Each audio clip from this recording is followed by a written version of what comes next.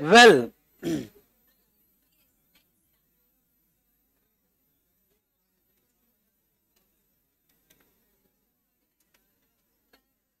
well so good morning to all of you. So दोस्तों आज का सेशन की शुरुआत करते हैं। कल सेशन को मैंने छुट्टी दिया था। आई वॉज़ नॉट वेल आज भी थोड़ा वीकनेस है पर ठीक है। ओके okay, तो यहाँ पे हम सेशन का डिस्कशन स्टार्ट करेंगे। आज सिर्फ़ ऐप पे ही क्लास है। वैसे तो यस डीम टू बी आज ऐप पे ही क्लास है। समझ में आया? डीम टू बी आज क्या? ऐप पे ही क्लास है। तो लेकिन, मैंने यूट्यूब का बैकअप रखा हुआ है सिर्फ़ आज के दिन। अगर किसी स्टूडेंट को जुनैन प्रॉब्लम होगा तो वो यूट्यूब पे देखे। पर मैं डाउट्स यूट्यूब के एंटरटेन करने वाला नहीं हूँ। मैं सिर्फ़ ऐप पर डाउट एंटरटेन करूँगा। और ऐप पे दोनों स्पीड दिया है 720 और 480 आज यूट्यूब पर का लास्ट सेशन है। मैं आपको ये बता दूँ, इसके बाद यूट्यूब पे नहीं हुआ, ये last opportunity of being heard है। अरे, समझ में है ना? To all those students who yet not started their app तो नाउ एक पॉजिटिव एनर्जी के साथ शुरुआत करते हैं। आज मेरी एनर्जी शायद थोड़ी लो हो सकती है, क्योंकि वीकनेस है। But I will try my best आज का सेशन भी आपका अच्छा सेशन रहे। तो एक लंबी सांस लो और कहो जो भी हुआ अच्छा हुआ।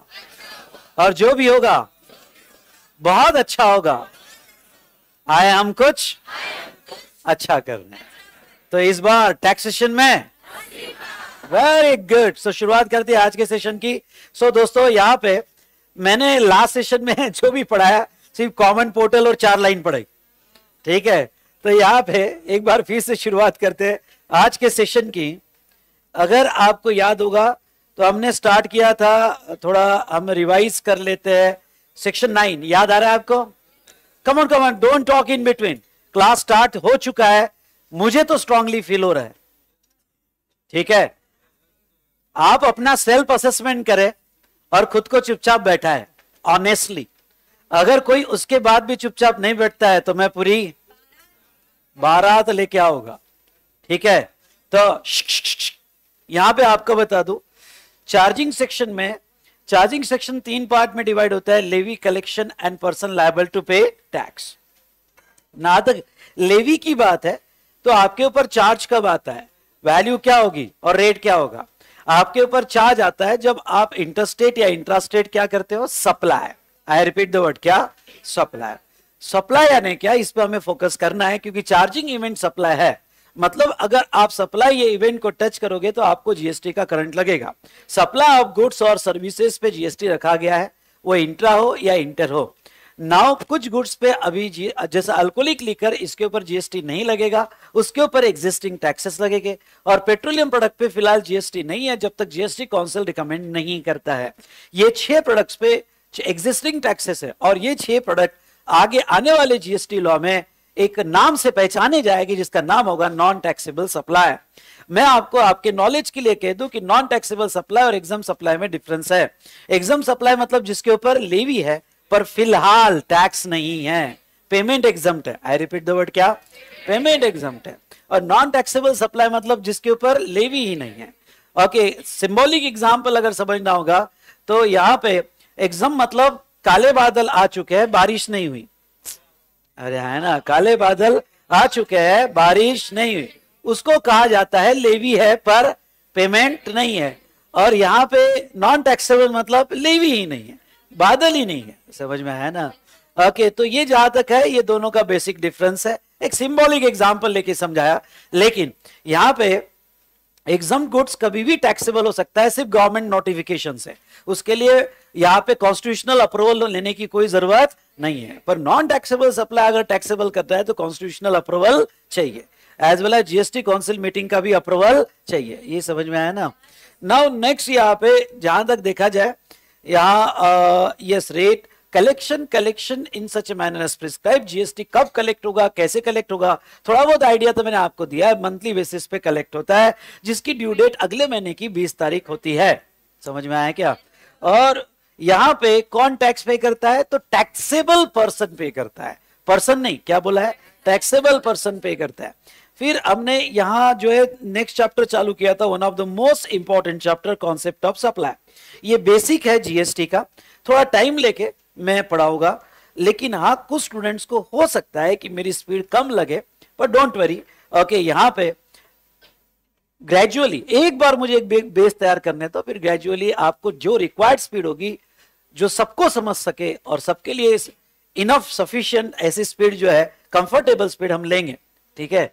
ओके हाँ उसके बाद भी अगर किसी स्टूडेंट्स को स्पीड कम लगती है तो पहले के लेक्चर डाउनलोड करके 1.4 के स्पीड में देखे। ठीक है? तो जहाँ तक देखा जाए, क्योंकि क्या है स्पीड बढ़ाने का ऑप्शन आपके पास ऑलवेज है, कम करने का ऑप्शन नहीं है। तो यहाँ पे, जहाँ तक देखा हमने पर्सन की डेफिनेशन देखी। पर्सन की डेफिनेशन यहाँ याद रखने की ज़रूरत नहीं और जीएसटी में तो काम की नहीं है। इनकम टैक्स में काम की हो सकती है। ओके जहाँ तक है जीएसटी में सारों को कवर कर लिया अंदर the definition of person okay उसके बाद में मुझे एक कॉन्सेप्ट समझाना था डीम डिस्टिंग पर्सन मतलब वैसे तो वो अलग नहीं है। आई रिपीट वैसे तो वो अलग नहीं है, पर जीएसटी के लिए जीएसटी के लिए वो अलग अलग माने जाएँगे। I hope you understood GST के लिए अलग अलग माने जाएँगे। जैसे सिंपल वे में आपकी ब्रांच। आपकी सब्सिडरी नहीं सब्सिडरी सेपरेट एंटिटी है। अरे आए ना, मैंने क्या कहा? आपकी ब्रांच। आपका प्लेस ऑफ़ बिज़नेस आपकी ब्रांच जो सेपरेटली रजिस्ट्रेशन है। इसके लिए मैंने पूरा बैकग्राउंड आपको समझाया। इसके लिए मैंने यहाँ पे जीएसटी पोर्टल ओपन किया था। जीएसटी पोर्टल ओपन करने के बाद मैंने आपको सबसे पहले ये बात समझाई थी कि जो ओके यहाँ जीएसटी में आपको रजिस्ट्रेशन क्यों अलग अलग लेने पड़ते हैं? ओके और वो रजिस्ट्रेशन फॉर्म होता है आर ई ज़ीरो वन पर उसके पहले एक कॉन्सेप्ट को मैंने जो पढ़ाया था, उसको यहाँ पे अच्छे से रिवाइज कर लेते हैं और उस कॉन्सेप्ट पे ग्रीप लाते हैं। कॉन्सेप्ट था GST R one GST R two B and GST R three B कुछ याद आया क्या आपको? जीएसटी आर वन ये रिटर्न होता है या स्टेटमेंट ऑफ़ आउटवर्ड सप्लाई होता है? Statement of outward supply government ये कहती है कि आप जो भी जीएसटी आउटवर्ड सप्लाई करते हो, ठीक है, आपका नेट टैक्स बाद में निकालो आईटीसी लेने के बाद। पर जो भी तुमने सप्लाई किया, उसका एक स्टेटमेंट दो हमें। और वो मंथली बेसिस पे दिया जाता है फ़र्स्ट से लेके तो मंथ एंड तक, जितने भी आपने सप्लाई किए, पहली तारीख से लेके आखिरी तारीख तक, वो आपको अगले महीने के 11 तारीख तक 11 दिन ग्रेस पीरियड है, अगले महीने के 11 तारीख तक अपलोड करने पड़ते हैं। उसमें बी टू बी ट्रांजेक्शन हर इनवाइस की डिटेल अपलोड होती है विथ इनवाइस नंबर विथ क्या? इनवाइस नंबर पर B to C consolidated detail होता है। कुछ याद आया? B to C consolidated detail होती है। उसके बाद में दोस्तों, जहाँ तक है जीएसटी आर वन अपलोड ग्यारह तारीख को होगा। और आप, आपने जिस जिस से परचेस किया है, जो भी लोगों से एक्स वाई जेड से पीक्यूआर से ब्ला ब्ला जिस, जो भी लोगों से परचेस किया है, वो भी जीएसटी आर वन अपलोड करते हैं।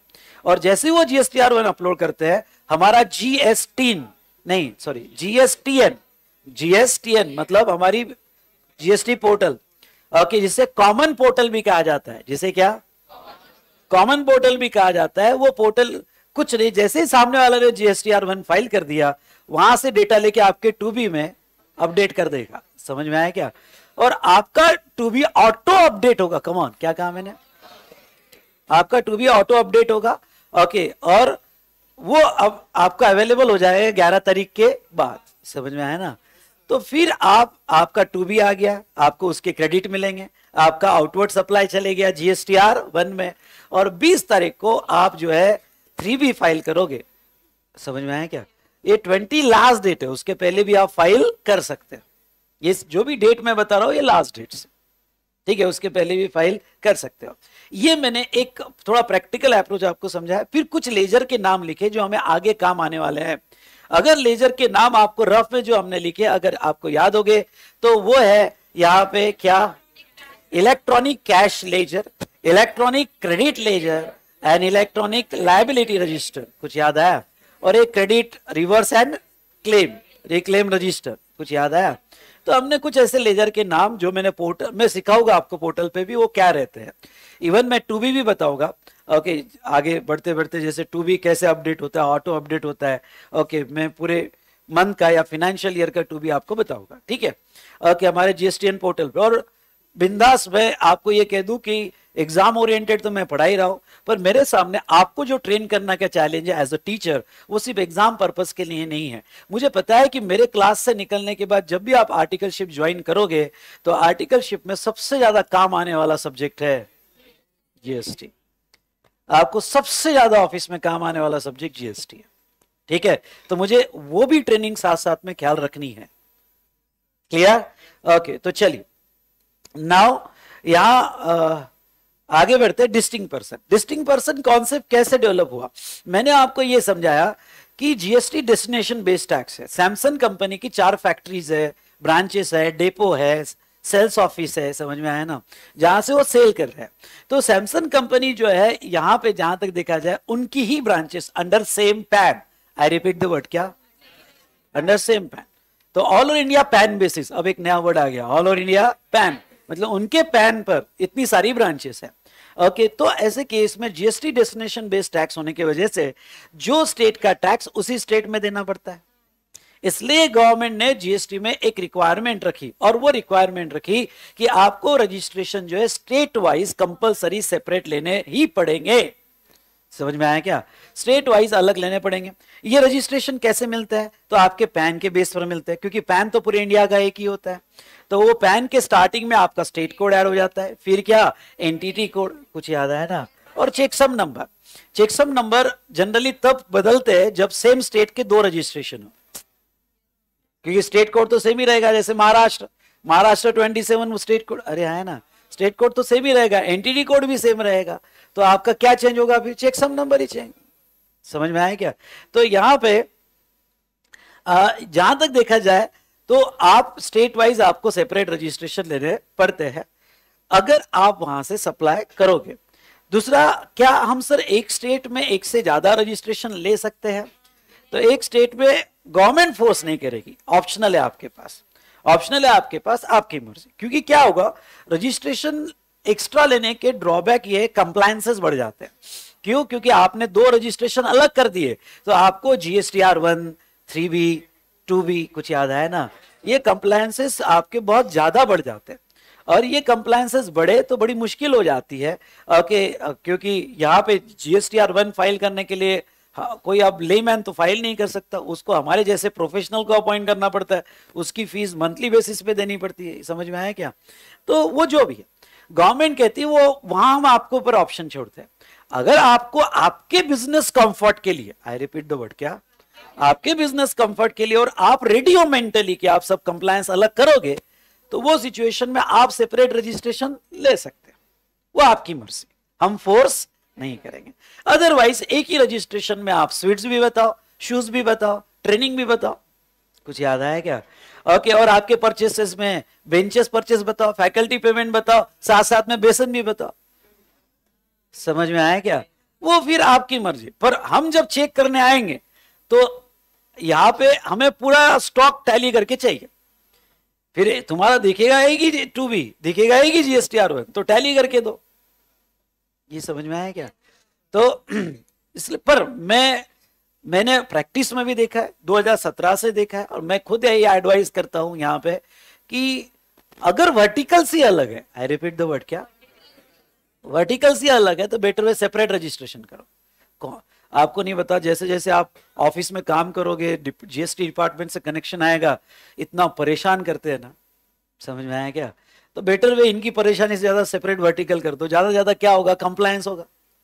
पर वर्टिकल सेपरेट करना ऑलवेज बेटर अगर नेचर ही अलग है, अगर आपका नेचर ही अलग है, ठीक है? हाँ अगर मेरी सिर्फ़ ट्रेनिंग कोचिंग की 25 ब्रांचेस है महाराष्ट्र में, और एक ही बिज़नेस नेचर है तो क्यों अलग करूँ फिर मैं?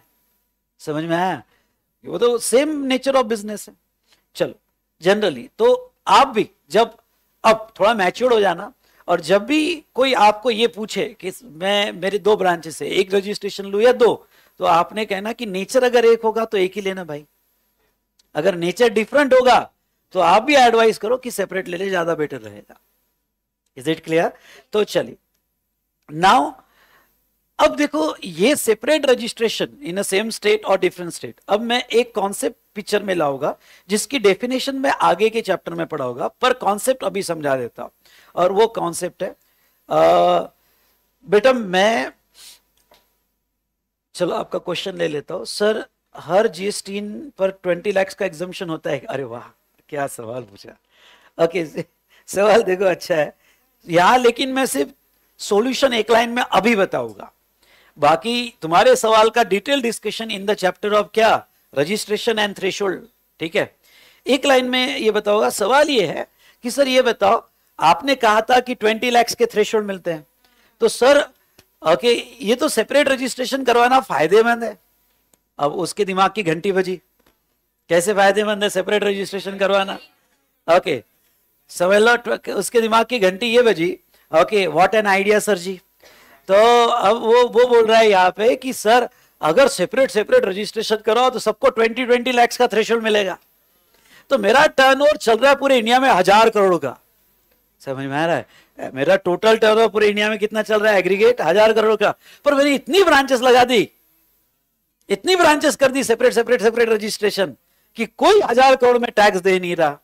क्यों? क्योंकि सबका टर्नओवर ट्वेंटी लाख से नीचे गवर्नमेंट बेवकूफ़ नहीं है। गवर्नमेंट कहती है, जब तुमको थ्रेशोल्ड लेना हो ना इवन दो तुम सेपरेट रजिस्ट्रेशन कर रहे हैं, पर जब तुमको थ्रेशोल्ड लेना हो ना तो आपका थ्रेशोल्ड आपके एग्रीगेट पे मिलता है ब्रांच वाइज नहीं मिलता है। Sir sir sir but sir आपने कहा कि रजिस्ट्रेशन सेपरेट यस आपने कहा GST R one three V okay two V compliance अलग यस ओके सब कंप्लायंसेस अलग हो गए रजिस्ट्रेशन अलग हो गए सबके टैक्सेस अलग हो गए जब सर सब अलग अलग है तो फिर थ्रेशोल्ड क्यों नहीं अलग अलग है? गवर्नमेंट बेवकूफ़ नहीं है। गवर्नमेंट कहती है हाँ रजिस्ट्रेशन अलग, ठीक। रिटर्न अलग हाँ। जीएसटी आर वन अलग हाँ। सेपरेट टैक्स पेमेंट हाँ। पर थ्रेशोल्ड सबका मिलाकर सबका मिला के अगर ट्वेंटी लैक्स क्रॉस हो जाता है तो सबके रजिस्ट्रेशन लेना ज़रूरी है। समझ में आया क्या? सबके रजिस्ट्रेशन लेना ज़रूरी। सर, मन नहीं मान रहा है, छोड़ो सो मुझे क्या लेना देना? सर और एक्सप्लेन करो ना। मैंने पहले कहा, मैंने एक ही लाइन में एक्सप्लेन करूँगा अभी। बाकी डिस्कशन बाद में। चलिए, अब यहाँ पे थ्रेशोल्ड एग्रीगेट नहीं समझ आया क्या फिर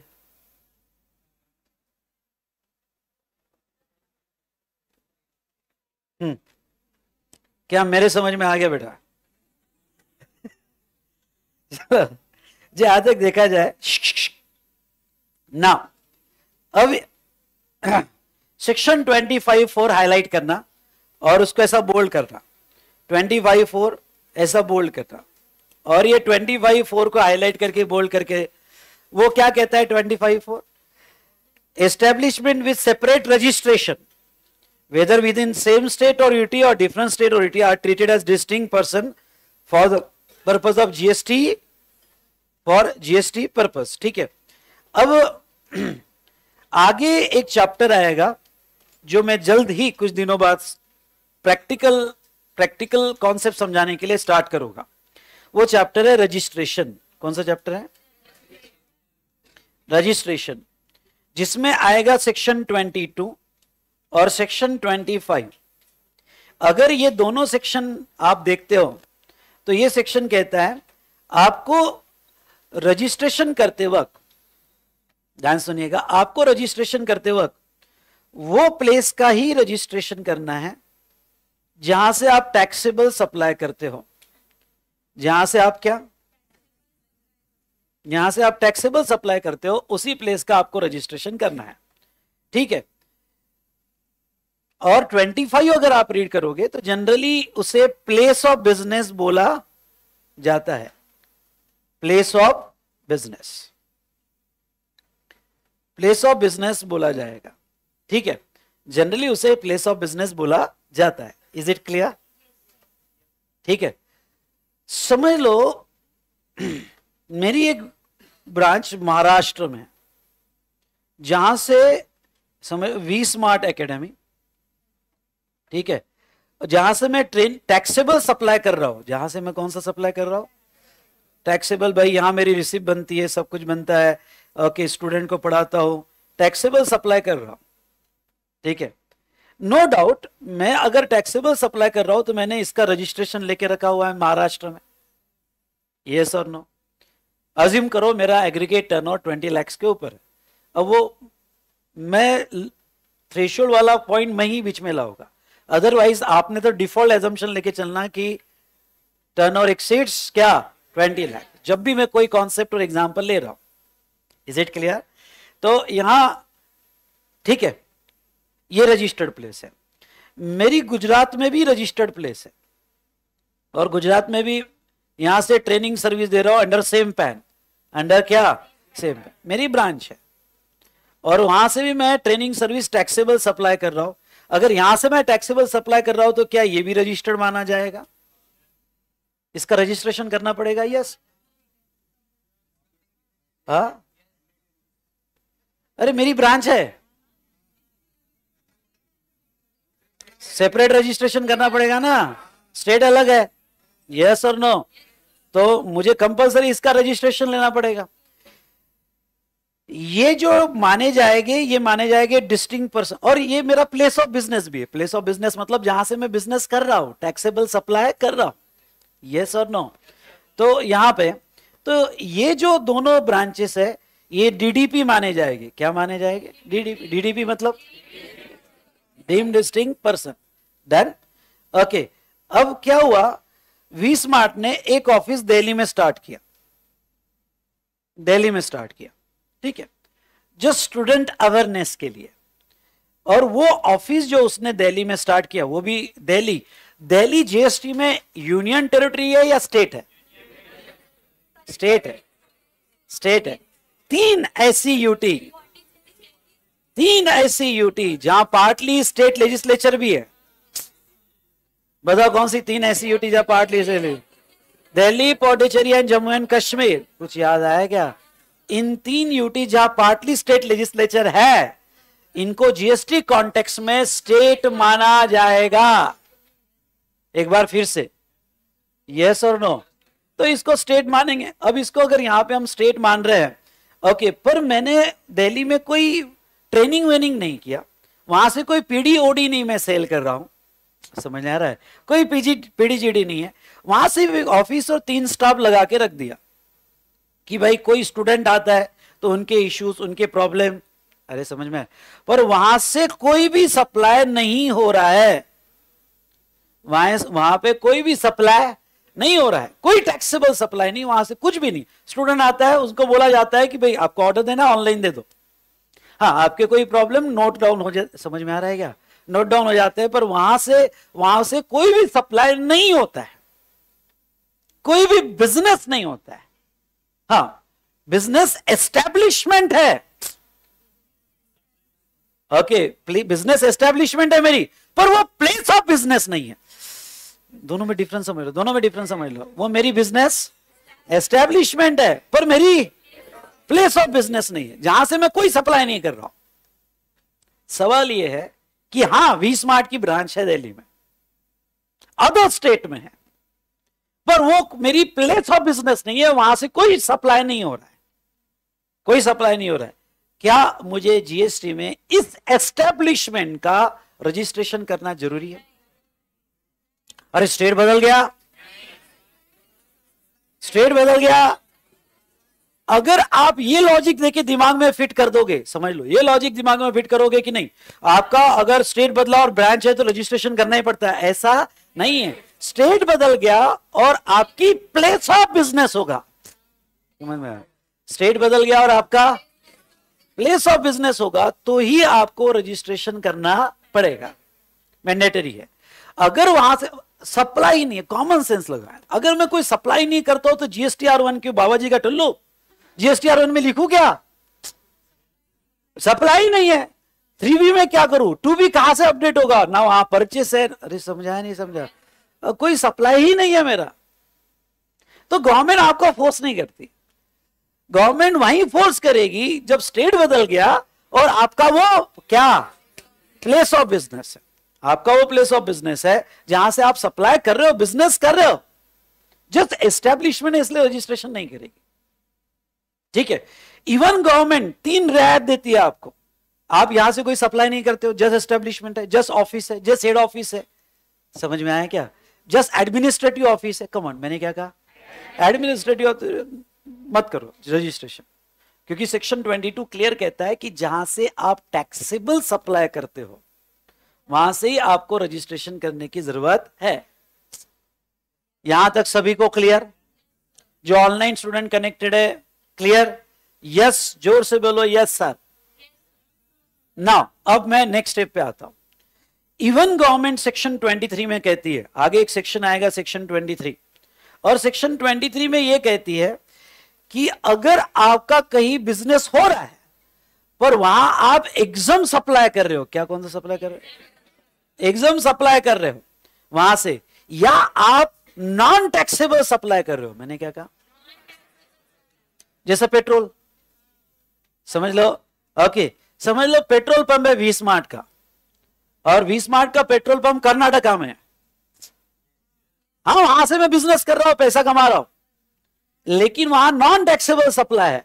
तो अगर वहाँ आप एक्सक्लूसिवली एग्ज़ाम सप्लाई करते हो एग्ज़ाम मतलब फ़िलहाल कोई जीएसटी पेमेंट नहीं है, या आप नॉन टैक्सेबल सप्लाई करते हो एक्सक्लूसिवली ये वर्ड समझ में आ रहा है? एक्सक्लूसिवली तो वो भी प्लेस का रजिस्ट्रेशन लेने की ज़रूरत नहीं है। पर एक्सक्लूसिव होना चाहिए। समझ में आया? पर क्या? एक्सक्लूसिव होना चाहिए। तो उसका भी रजिस्ट्रेशन आपको लेने की ज़रूरत नहीं है। मतलब हमें वो तीन रियायतें देती है रजिस्ट्रेशन से। एक, कि जस्ट आपका एडमिनिस्ट्रेटिव ऑफ़िस है और वहाँ से सप्लाई नहीं हो रहा है। तो उस एस्टेब्लिशमेंट का रजिस्ट्रेशन करने की ज़रूरत नहीं है। या फिर ऐसी एस्टेब्लिशमेंट जहाँ आप एक्सक्लूसिवली कौन सा सप्लाई कर रहे हो? एग्ज़ाम या नील रेट सप्लाई तो उसका आपको रजिस्ट्रेशन करने की ज़रूरत नहीं है। सर, आप क्यों पढ़ा रहे हो ये? ओके इसलिए पढ़ा रहा हूँ बेटा क्योंकि यहाँ पे एक स्टेटमेंट अगर आपने देखा होगा तो इसको हाईलाइट करो वो है registration is not required in a state where only non taxable or exempt supplies are made कुछ आपको दिखा वो डिस्टिंग पर्सन में? तीसरा पॉइंट दिखा क्या नहीं दिखा? ओके okay, ये और आगे लिख देना refer section 23 chapter registration refer section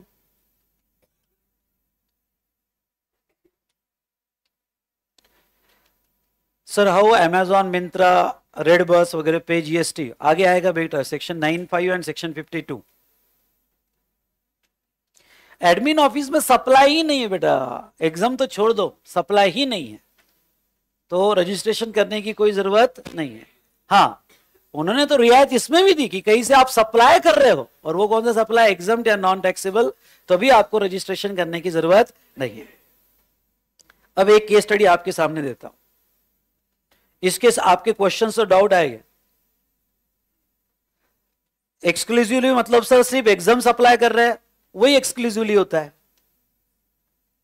मतलब एग्ज़ाम के अलावा आप दूसरा कोई सप्लाई नहीं कर रहे या नॉन टैक्सेबल सप्लाई कर रहे। जैसे एग्ज़ाम्पल के तौर पे हेल्थ केयर सर्विस यानी डॉक्टर की या हॉस्पिटल की सर्विस एग्ज़ाम है। वी स्मार्ट ने एक हॉस्पिटल बनाया एमपी में। अरे है ना और वो एक hospital under the same PAN और एमपी में बनाया। हॉस्पिटल की सर्विस क्या है? एग्ज़ाम तो अगर एक्सक्लूसिवली वहाँ पे मैं यहाँ हेल्थ केयर सर्विस प्रोवाइड कर रहा हूँ तो मुझे उसकी रजिस्ट्रेशन लेने की कोई ज़रूरत नहीं है।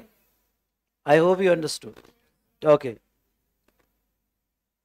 exempt वाला हेल्थ केयर दे दिया मैंने एग्ज़ाम्पल हेल्थ केयर सर्विस क्या? Exempt vegetable products exempt fruits exempt समझ में आया क्या? ऐसे बहुत सारे गुड्स है। बहुत सी food grains exempt jowar exempt wheat exempt अरे yes or no pulses unpack pulses exempt daily goods के जो डेली नेसेसिटी ऑफ़ लाइफ है, ऐसे गुड्स को एग्जामेशन दिया गया है। चलिए। अब मैं कहाँ पे आ रहा हूँ? हम्म। एक केस स्टडी मुझे बताओ। यहाँ पे आंसर आपने बताना। मैं महाराष्ट्र में हूँ और मेरा महाराष्ट्र में पीओबी है। पीओबी मतलब? प्लेस ऑफ़ बिज़नेस ठीक है। यहाँ से मैं तो सप्लाई करता ही हूँ और मेरा जीएसटी रजिस्ट्रेशन भी है। मेरा जीएसटी रजिस्ट्रेशन भी है। कहाँ पे रजिस्ट्रेशन है मेरा? महाराष्ट्र में। दिल्ली में मैंने जस्ट ऑफ़िस खोला है, और वो एडमिन ऑफ़िस है। एडमिन मतलब? जहाँ कोई सप्लाई नहीं होता है। नो सप्लाई जस्ट एस्टेब्लिशमेंट है। जस्ट एस्टेब्लिशमेंट है। और वहाँ कोई रजिस्ट्रेशन नहीं है। No registration okay by law मुझे रजिस्ट्रेशन करवाने की ज़रूरत नहीं है।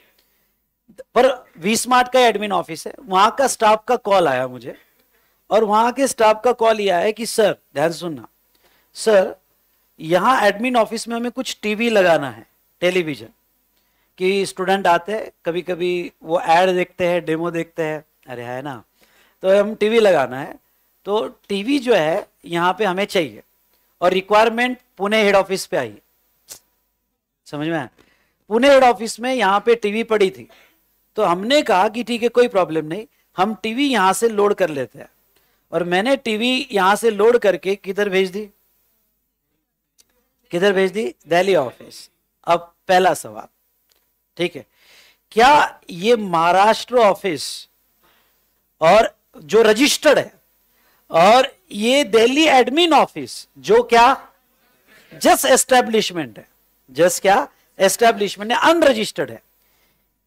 ये दो अलग अलग स्टेट में ये बहुत इंपॉर्टेंट है। ये दो डिफरेंट स्टेट में ठीक है? क्या ये डिस्टिंग पर्सन माने जाएँगे क्या? तो रुक जाओ रुक जाओ। अब देखो यहाँ ये ट्वेंटी फाइव फाइव पढ़ो नेक्स्ट पेज पे। और ये पढ़ने के बाद क्या इंटरप्रिटेशन आ रहा है? एक मिनट इसके पहले हमने क्या पढ़ा था? ट्वेंटी फाइव फोर और ये ट्वेंटी फाइव फाइव ये क्या बोलता है बताओ? पढ़ो और बताओ। Where a person who obtain or is required to obtain registration in a state. Obtain or required to obtain registration in a state. A state का मतलब? एक स्टेट में उसका रजिस्ट्रेशन है, समझ में आया क्या? In a state or UT in respect of establishment and has an establishment come on come on has an establishment in another state or UT और और उसकी एस्टेब्लिशमेंट है in another state or UT then such establishment shall be treated as distinct person for the purpose of this act. अब मुझे इसका मतलब बताओ, ये क्या कहना चाहता है? मतलब आपकी एक स्टेट में रजिस्टर्ड एस्टेब्लिशमेंट होगी? अरे है ना। और दूसरे स्टेट में? जिस एस्टेब्लिशमेंट जो अनरजिस्टर्ड है, जिसका रजिस्ट्रेशन आपने नहीं किया इवन तो वो अनरजिस्टर्ड है, जिसका रजिस्ट्रेशन आपने नहीं किया तो भी, भी वो। डिस्टिंग पर्सन माना जाएगा। समझ में आया क्या?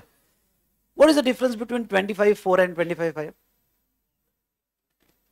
twenty five four और ट्वेंटी फाइव फाइव में क्या डिफरेंस है? सोचो सोचो बताओ। बेटा उसको उठा दे। यस बेटा क्या डिफरेंस है ट्वेंटी फाइव फोर और फाइव में? चल वापस सोच के बता। हाँ माइक इधर इधर दो किसी को। फोर और फाइव में डिफरेंस कौन बताएगा? यस ऑनलाइन स्टूडेंट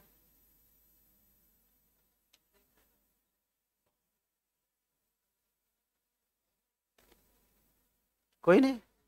क्या बात है?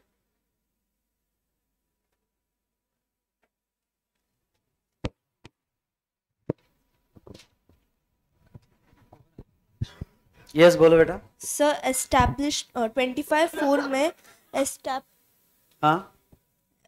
एस्टैब्लिशमेंट विद सेपरेट रजिस्ट्रेशन है। सो लाइक दोनों एस्टैब्लिशमेंट uh, को रजिस्ट्रेशन चाहिए। But in twenty five five establishment को रजिस्ट्रेशन होना कंपलसरी नहीं है। यस yes, तुम्हारा क्या कहना है? सर यहाँ पे रजिस्टर टू रजिस्टर था twenty five twenty five four में ट्वेंटी फाइव फाइव में रजिस्टर टू अनरजिस्टर है।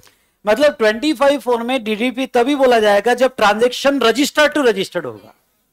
अरे है ना मतलब एक रजिस्टर्ड और दूसरा रजिस्टर्ड फिर वो सेम स्टेट में हो।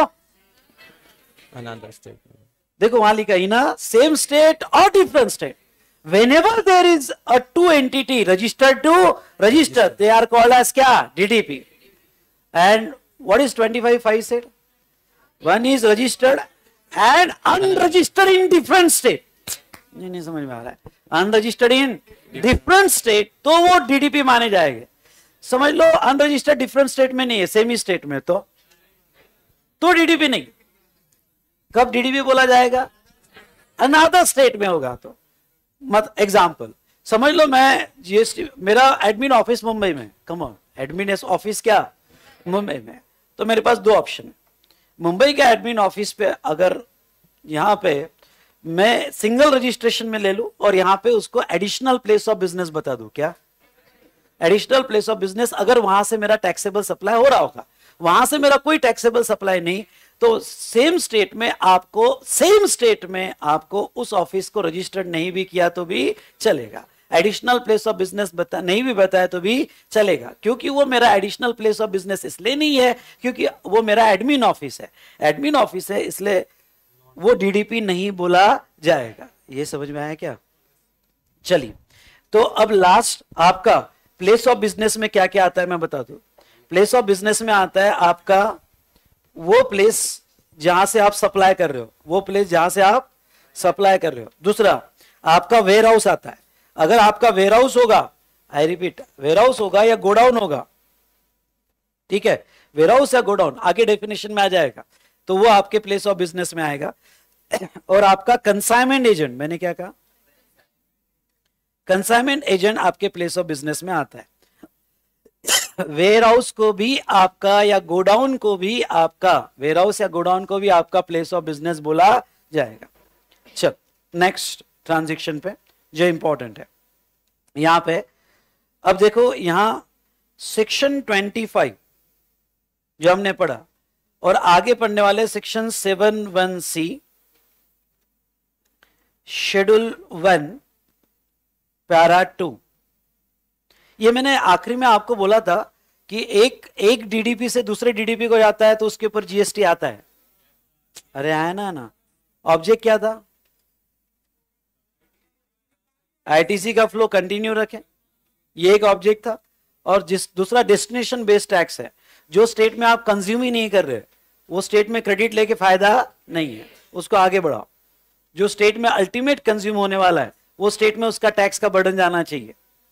इज़ इट क्लियर ओके तो यहाँ पे सेक्शन 25 टॉक अबाउट डीडीपी और section seven one C talk about stock transfer stock stock transfer is a supply वो सप्लाई बोला जाएगा।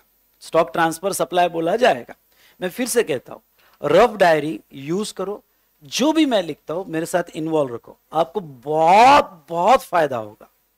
वो पर ये वापस पढ़ना भी मत। ड्रफ डायरी का। सिर्फ़ क्लास में इन्वॉल्व रहो। समझ में आया क्या? ये क्या पढ़ना है, मैं वो स्पेसिफिकली चार्ट में लिखवा के दूँगा। ये सिर्फ़ मेरे साथ इन्वॉल्व होने के लिए ज़रूरी है। इज़ इट क्लियर तो यहाँ पे सप्लाई बोला जाएगा तो चलिए। अब मेरा पिक्टोरियल प्रेजेंटेशन में आता हूँ, फटाफट लिख लेते हैं। मुझे ये बताओ, मेरी फैक्ट्री सुनो, अब यहाँ ग्रीन कलर नहीं आ रहा है, जो भी है। तो मेरी फैक्ट्री महाराष्ट्र में फैक्ट्री कहाँ पे बेटा?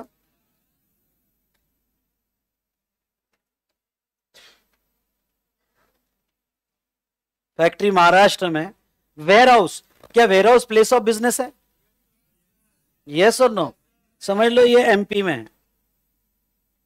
और डेपो डेपो मेरा मतलब हमारा एक सेल पॉइंट जहाँ से मैं सप्लाई करता हूँ, जहाँ से मैं वो गोवा में है। ठीक है? तो मुझे बताओ, महाराष्ट्र एमपी और गोवा, तीनों मेरी प्लेस ऑफ़ बिजनेसेस है। तो क्या करूँ? Assume my turnover exceeds threshold registration अलग होगा? यस और नो तो लिख दो। यहाँ अलग अलग रजिस्ट्रेशन करना पड़ेगा। सेपरेट रजिस्ट्रेशन करना पड़ेगा। All these are my place of businesses PO भी है मेरे। ठीक है? अगर मैं इसके अलग अलग रजिस्ट्रेशन करवाता हूँ तो इनको क्या बोला जाएगा? इनको डीडीपी बोला जाएगा। यस और नो इनको डीडीपी बोला जाएगा। अच्छा अगर इनको डीडीपी बोला तो ये जो ट्रक गुड्स लेके जा रहा है फैक्ट्री से वेयर हाउस फैक्ट्री से डेपो इन डीडीपी क्या इन डीडीपी क्या ये जो स्टॉक ट्रांसफ़र है, क्या ये स्टॉक ट्रांसफ़र पे section seven one C schedule one para two क्या ये सप्लाई बोला जाएगा? अच्छा इनवाइस कैसा होगा? मैंने बताया था इनवाइस कैसे होगा? टैक्स यहाँ टैक्स इनवाइस बनेगा। टैक्स इनवाइस में प्राइस नहीं लाएगी। डिस्क्रिप्शन में स्टॉक ट्रांसफ़र आएगा गुड्स का। अरे आए ना। लेकिन आपको जीएसटी कैलकुलेट करने के लिए जीएसटी कैलकुलेट करने के लिए क्या लिखना पड़ेगा? टैक्सेबल वैल्यू कुछ याद आया? ओके तो मुझे ये बताओ, ये जो स्टॉक ट्रांसफ़र लिखो। स्टॉक ट्रांसफ़र पहला पॉइंट यहाँ लिखो या साइड में, मैंने जगह छोड़ी है एरो करके साइड में भी लिख सकते हो। वहाँ जगह छोड़ी है मैंने। स्टॉक ट्रांसफ़र पहला पॉइंट मुझे बताओ whether it's a supply yes or no लिखो it's a supply under section 71c schedule 1 and para 2 schedule 1 and para 2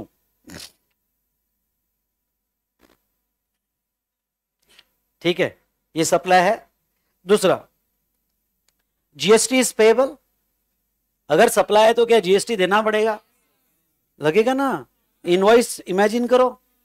अच्छा कौन सा जीएसटी लगाएँगे? दूसरे स्टेट में जा रहा है। आइए, अगर ये सेम स्टेट के डीडीपी में जाता तो? तो यहाँ कौन सा पेबल आएगा? I GST is payable I GST is payable ठीक है? अच्छा थर्ड थर्ड मुझे ये बताओ, यहाँ स्टॉक ट्रांसफ़र चालान बनेगी या टैक्स इनवाइस बनेगा? जीएसटी लग रहा है तो टैक्स इनवाइस ही बनेगा। हाँ उसमें आप लिखोगे स्टॉक ट्रांसफ़र प्राइस नील अरे आया ना पर डॉक्यूमेंट का नाम ऊपर टैक्स इनवाइस ही आएगा। ओके लिखो। Tax sorry removal under removal under inverted comma tax invoice and e-way bill. E-way bill भी बनेगा। सर ईवे बिल क्या रहता है? बाद में पढ़ा होगा। ईवे बिल भी बनेगा। देन सप्लाई है आईजीएसटी पेबल है टैक्स इनवाइस बनेगा ईवे बिल और क्या रिसिपियंट को उसका क्रेडिट मिल जाएगा? Recipient can take the ITC उसमें कोई दिक्कत ही नहीं। मतलब क्यों? क्योंकि इसका रजिस्ट्रेशन अलग है तो इसका टू भी अलग होगा। इसका टू भी होगा तो ऑटो अपडेट हो जाएगा आईजीएसटी ये समझ में आया क्या? इसके टू बी में आ जाएगा। इसके टू बी में आएगा। जब अगर आप वेयर हाउस से सेल करते हो तो वेयर हाउस से जब सेल करते हो तो उसका जीएसटीआर बन जाएगा। क्योंकि वो सेपरेटली रजिस्टर्ड है। अरे है ना। और उसका जीएसटीआर वन में उसको आईटीसी मिल, मिलके वो थ्री बी फ़ाइल करेगा। यानी सर ये वेयर हाउस का भी थ्री बी फ़ाइल होगा। यस वेयर हाउस से ज़्यादा ये देखो, वो सेपरेटली रजिस्टर्ड पर्सन है। ये समझ में आया? वेयर हाउस को बोला तो मन नहीं मानेगा, पर ऐसा बोलो कि it's a separately registered person तो अब मन मान जाएगा सारी चीज़ों के लिए। Is it clear okay same thing मुझे बताओ डेपो वो गुड्स जा रहा है। कहाँ जा रहा है? डेपो को गुड्स जा रहा है तो क्या सेम सप्लाई बोला जाएगा? एग्जैक्टली कॉपी करो डेपो के लिए, यहाँ पे। यहाँ लिखना है तो इधर लिखो राइट में लिखना है तो राइट में लिखो, जहाँ आपको स्पेस मिले। Transfer stock transfer to depot D P O T हाँ।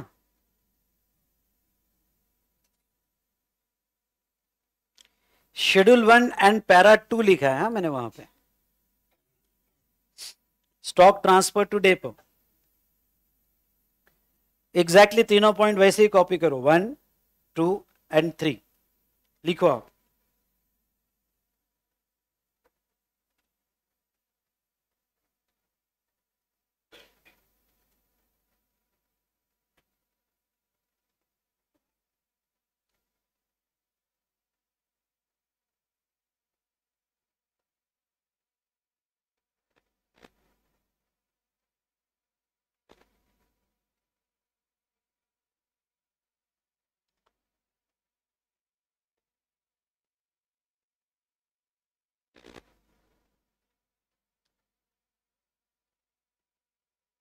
एग्जैक्टली exactly तीनों पॉइंट लिख लिया वैसे आपने? चलो। अब मुझे ये बताओ, एक ही स्टेट में मेरे तीन पीओबी है। पीओबी मतलब? ये भी मेरा प्लेस ऑफ़ बिज़नेस है। मैंने इसका इसका रजिस्ट्रेशन यहाँ पे देखो।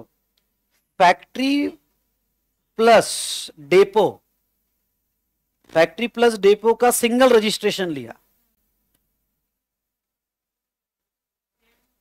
सेम स्टेट में।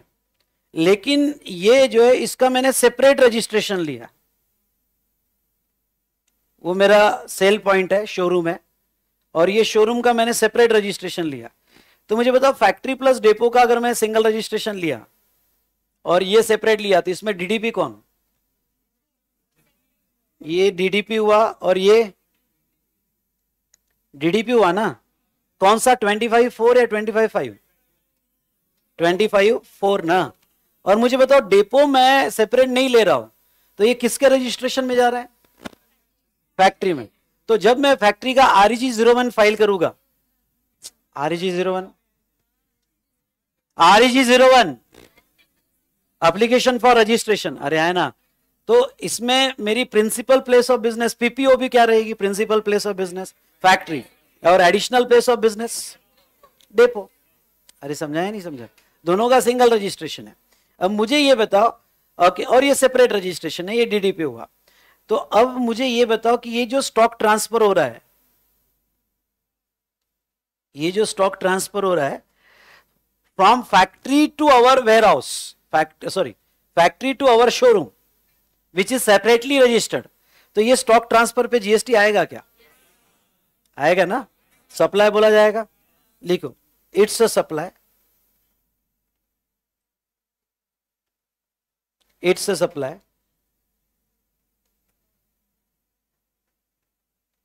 depot का spelling D E P O नहीं D E P O T it's a supply under section क्या? Seven one C schedule one para two अच्छा सप्लाई है तो कौन सा टैक्स लगेगा? सीजीएसटी एंड क्यू सीजीएसटी और एसजीएसटी इंट्रा इंट्रा ठीक है सीजीएसटी और एसजीएसटी सॉरी बोलने का चांस सिर्फ़ यहाँ पे एग्ज़ाम में नहीं। एग्ज़ाम का सॉरी छह महीने पड़ता है। समझ में आया? बिल्कुल ध्यान रख के। इतनी ट्रिमेंडस अवेयरनेस होनी चाहिए। और हर मोमेंट पे ख्याल रखना, एक सॉरी छह महीना। समझ में आया? तो यहाँ पे सीजीएसटी और जीएसटी इंट्रा स्टेट पेबल और थर्ड ओके थर्ड क्या टैक्स इनवॉइस बनेगा या स्टॉक ट्रांसफ़र चालान बनेगी? जीएसटी लग रहा है तो टैक्स इनवॉइस ही बनेगी। रिमूवल ऑफ़ गुड्स जब आप गुड्स को रिमूव करोगे तो कौन से डॉक्यूमेंट में रिमूव करोगे?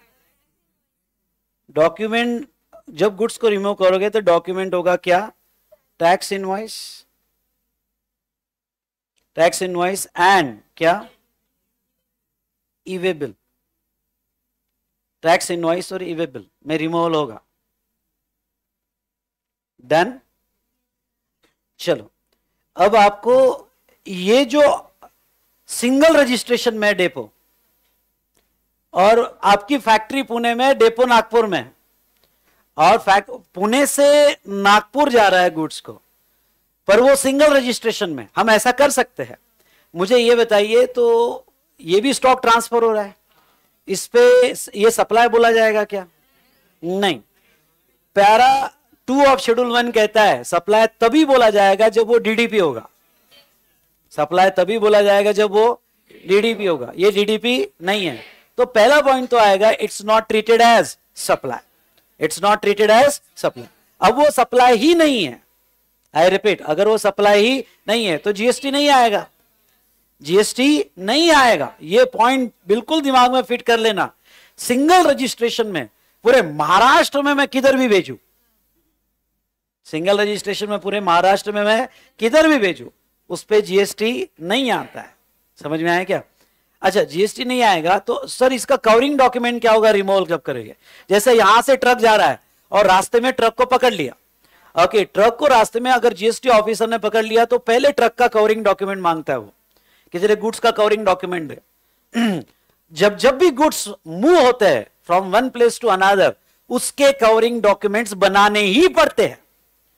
नहीं तो चेकिंग कैसे होगी? रास्ते में चेकिंग कैसे होगी? ईवे बिल तो होता ही है। ईवे बिल मतलब वे वे मतलब रास्तों का इलेक्ट्रॉनिकली एक बिल समझ में आया क्या? जिसको हम कहते हैं ईवे बिल ईवे बिल तो होता ही है, पर आपके गुड्स का कवरिंग डॉक्यूमेंट चाहिए। और गुड्स के कवरिंग दो ही डॉक्यूमेंट हो सकते हैं। एक हो सकता है टैक्स इनवाइस और टैक्स इनवाइस तभी बनता है जब जीएसटी होता है। अगर टैक्स इनवाइस नहीं है तो फिर होती है आपकी चालान। स्टॉक ट्रांसफ़र चालान। समझ में आया क्या? जिसमें टैक्स नहीं होता है, सिर्फ़ गुड्स का डिस्क्रिप्शन क्वांटिटी होती है।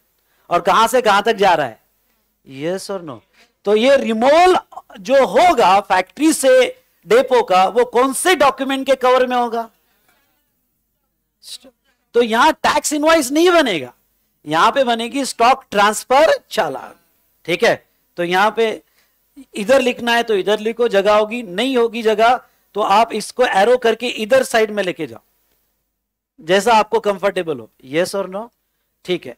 तो आप सबसे पहले stock transfer to depot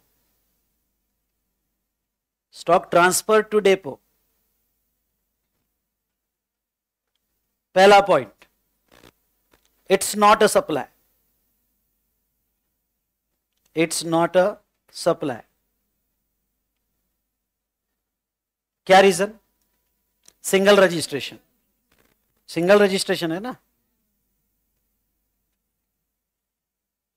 Single registration not a DDP not a DDP second second GST payable no no GST is payable इस पे कोई भी जीएसटी नहीं आएगा। और थर्ड थर्ड क्या?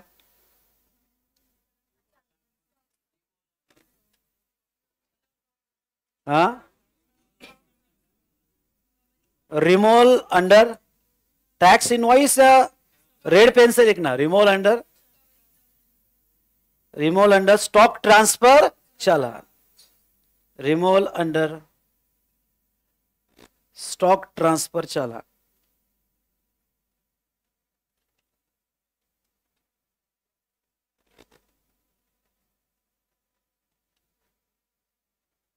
इस केस में बेटा टैक्स इनवाइस ही नहीं बनेगा ना। टैक्स इनवाइस ही नहीं बनेगा। ना जीएसटी पास ऑन होगा, ना क्रेडिट मिलेगा। अब थोड़ा कॉमन सेंस लगाओ ना, कुछ भी सवाल मत पूछना। क्रेडिट तभी मिलता है जब आप जीएसटी देते हो। कभी ऐसा नहीं होगा कि सामने वाले ने जीएसटी लगाया नहीं, ना आपने क्रेडिट ले लिया। अरे भाई, लगा तो पहले। और अभी इतनी मैच्योरिटी बढ़ाई है मैंने कल। वो जीएसटी लगाएगा जीएसटी आर वन देगा, तब तो आपका टू बी अपडेट होता है। अब इतनी मैच्योरिटी से सोचो। ठीक है? ऐसे उठा के सवाल पूछ दिया और ऑनलाइन में आपको टाइप करना इजी इसलिए कर दिया, ऐसा मत। इमेजिन करो, जब ये जीएसटी दे ही नहीं रहा है तो जीएसटी आर वन में अपडेट करेगा ही नहीं। जब वन में अपडेट करेगा ही नहीं तो टू बी में आएगा ही क्यों?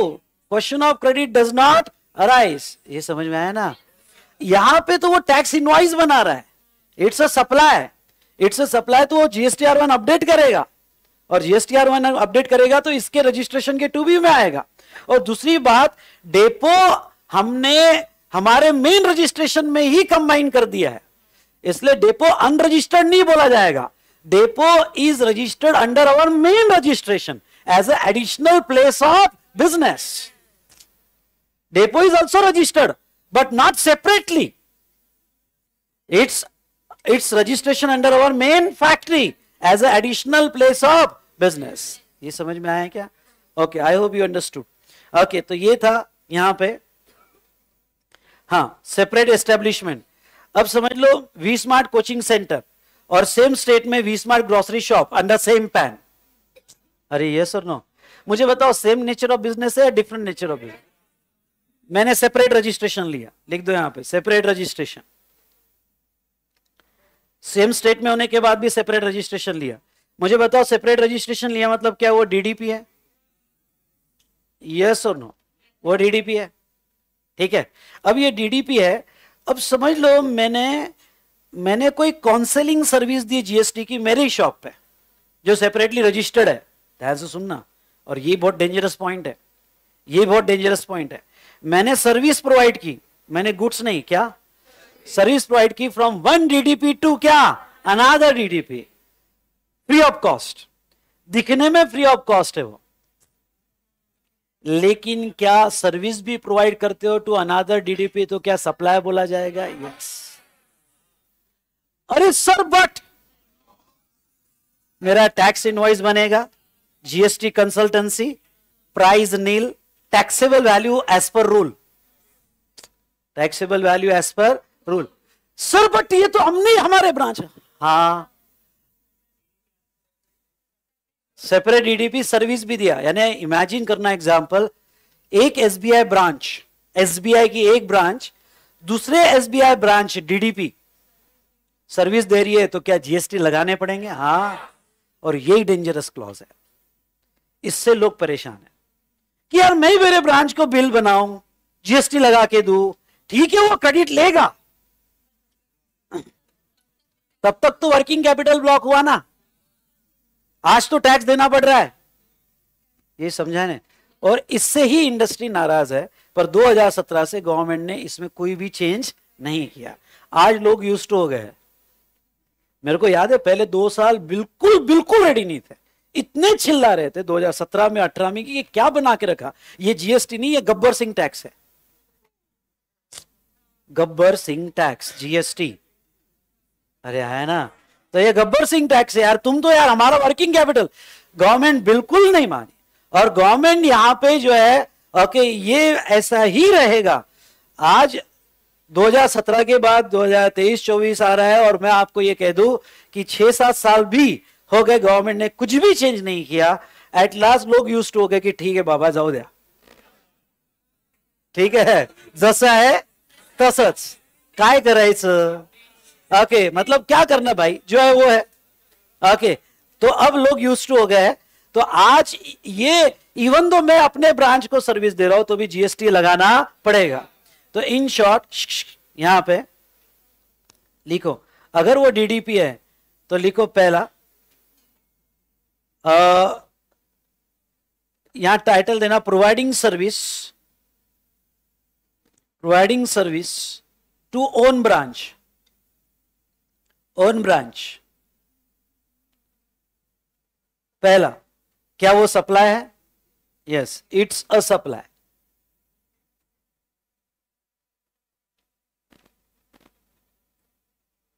it's a supply under section okay under section क्या? Seven one C seven one para two बहुत अच्छा पैरा है। बड़ा प्यारा प्यारा है। ठीक है? तो पैरा टू दूसरा, क्या टैक्स इनवाइस बनेगा? यस नहीं पहले जीएसटी आएगा क्या? हाँ। कौन सा जीएसटी लगेगा? C GST and S GST is payable C GST and S GST is payable done और तीसरा मुझे बताओ, यहाँ तो सी जीएसटी जीएसटी लग जाएगा, तीसरा? टैक्स इनवॉइस और ईवे बिल नहीं बनता है, क्योंकि ईवे बिल सिर्फ़ गुड्स का होता है। Very important point e way bill सिर्फ़ वो साइड में स्टूडेंट नोट्स में लिख देना। E way bill only for goods not for service तो यहाँ पे सिर्फ़ टैक्स इनवॉइस रहेगा। ओके तो अब मैं रिमोल ऑफ़ सर्विस कहूँ या supply of service under tax invoice कहूँ? जनरली रिमोल वर्ड ये गुड्स के लिए यूज़ किया जाता है। समझ में आया क्या? तो provision of service provision of service under क्या? इन्वर्टेड कॉमन में लिखना टैक्स इनवॉइस टैक्स इनवॉइस और साइड में लिख दो here no e way bill is required student note में लिखना लिखना here no e way bill is required क्यों? Here no e-way bill is required because e-way bill only for goods, not for service. Because EV bill only for goods not for service. No EV bill is required. Is required. Because it is only for goods and not for services. Not for services. Done done done done चलो twenty five five twenty five five है ये registered place है और ये ऐसा office है जो मेरा एडमिन ऑफ़िस है। एडमिन है और जहाँ से सिर्फ़ एग्ज़ाम सप्लाई हो रहा है, कुछ याद आया क्या? एग्ज़ाम सप्लाई हो रहा है या फिर वहाँ से नॉन टैक्सेबल सप्लाई हो रहा है। नॉन टैक्सेबल सप्लाई हो रहा है। इन शॉर्ट वो अदर स्टेट में ओके अदर स्टेट में बट नॉट रजिस्टर्ड कुछ समझा क्या? अदर स्टेट में बट नॉट रजिस्टर्ड अच्छा अदर स्टेट में आइदर वो जस्ट एस्टेब्लिशमेंट होगी एडमिन ऑफ़िस होगा, या फिर एस्टेब्लिशमेंट जहाँ सप्लाई होता है, पर एग्ज़ाम या नॉन टैक्सेबल है, और वो अभी रजिस्टर्ड नहीं है। मुझे बताओ, अगर एक रजिस्टर्ड है और दूसरी अनरजिस्टर्ड अनादर स्टेट में आई रिपीट द वर्ड ये अनादर वर्ड इंपॉर्टेंट है दूसरी वर्ड अनादर स्टेट में है अनादर स्टेटमेंट तो क्या ये डीडीपी बोले जाएँगे? यस और नो तो लिखो ये डीडीपी ये इतना डिफ़िकल्ट कॉन्सेप्ट आपको सिर्फ़ इसलिए इजीली समझ में आ रहा है क्योंकि कल दो घंटे दिए मैंने। कल मतलब लास्ट सेशन में लास्ट सेशन में। यहाँ पे डीडीपी अगर ये डीडीपी बोला जाएगा deemed distinct person even though unregistered है।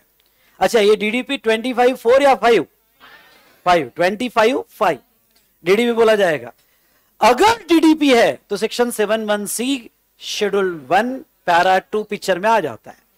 फिर वो तो मुझे ये बताओ section seven one C schedule one para two ये दो रजिस्टर्ड में ही अप्लीकेबल है या ये डीडीपी में अप्लीकेबल डीडीपी में अप्लीकेबल दो रजिस्टर्ड में अप्लीकेबल ऐसा नहीं है। वो डीडीपी पर अप्लीकेबल है। डीडीपी मतलब वो रजिस्टर्ड हो या ना अगर डीडीपी बन गए, अगर डीडीपी बन गए, फिर वो ट्वेंटी फाइव फोर में हो या ट्वेंटी फाइव फाइव में हो, अगर आप डीडीपी हो दैट्स ऑल जो भी सप्लाई होगा, उसके ऊपर जीएसटी आएगा। तो मैंने अपने पुणे ऑफ़िस से टीवी भेजा। और टीवी कहाँ भेजा? दिल्ली ऑफ़िस। तो क्या उस पर भी जीएसटी देना पड़ेगा? हाँ। जीएसटी देना पड़ेगा। तो यहाँ पे ऐसा एरो बताओ। और यहाँ बताओ सप्लाई ऑफ़ गुड्स और सर्विसेस सप्लाई ऑफ़ गुड्स और सर्विसेस चलो तो यहाँ स्पेस होगी तो वहाँ, नहीं तो आप ऐसा साइड में ले लो उसको। एरो करके साइड में ले लो। ठीक है? और पॉइंट नंबर यहाँ पे टाइटल दो स्टॉक ट्रांसफ़र ऑफ़ गुड्स और services to unregistered DDP unregistered DDP ये समझा क्या? अनरजिस्टर्ड डीडीपी पहला इट्स सप्लाई रेड पेन से लिखना। It's supply under section seven one C एक बार फिर से हो जाए। सेक्शन सब सब ध्यान देना। Section seven one C schedule one para two ये दो रजिस्टर को अप्लीकेबल है या डीडीपी को अप्लीकेबल है? जब जब भी कोई गुड्स या जब जब भी कोई सर्विस डीडीपी में जाएगा, वो सप्लाई बोला जाएगा। इज़ इट क्लियर तो it's supply under section seven one C schedule क्या? One para two para two second क्या बनेगा बेटा यहाँ पे? सॉरी जीएसटी पेबल होगा क्या? Yes I GST is payable I GST is payable interested है ना? आई जीएसटी इज़ पेबल और दूसरा, यहाँ पे थर्ड क्या? Tax invoice tax invoice बनेगा, और अगर गुड्स होगा तो ई वे बिल अरे समझा क्या? And in case of goods क्या बनेगा?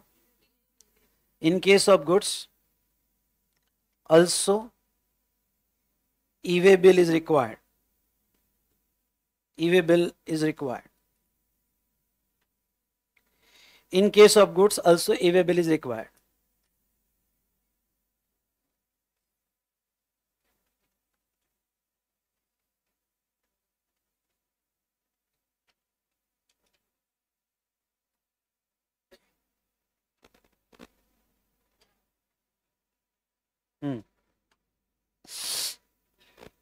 तो चलिए, ये था।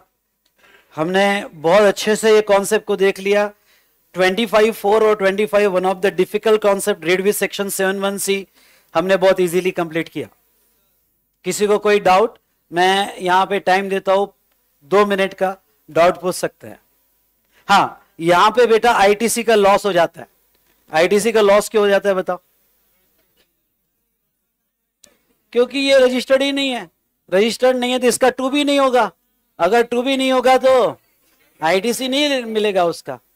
तो यहाँ लॉ हाँ अगर किसी को लिखना है तो हिंदी में लिख देना कि यहाँ आईटीसी का लॉक नुकसान होता है लॉस होता है। समझ में आया क्या? रिसिपियंट आईटीसी ले नहीं पाएगा। डन और आपको जीएसटी यहाँ पे करना पड़ेगा। सबसे ज़्यादा अभी चोरिया ये एरिया में हो रही है। यानी लोग जो है ना, क्योंकि पहले वाले केस में क्या है, पहले वाले केस में लोगों को प्रॉब्लम नहीं है। बिल बना के दे देंगे, उधर क्रेडिट मिल जाएगा। अब क्या हो रहा है कि अगर ये ऐसे ट्रांसफ़र है, ऐसे ट्रांसफ़र है, लोग चोरिया कर रहे हैं इसमें।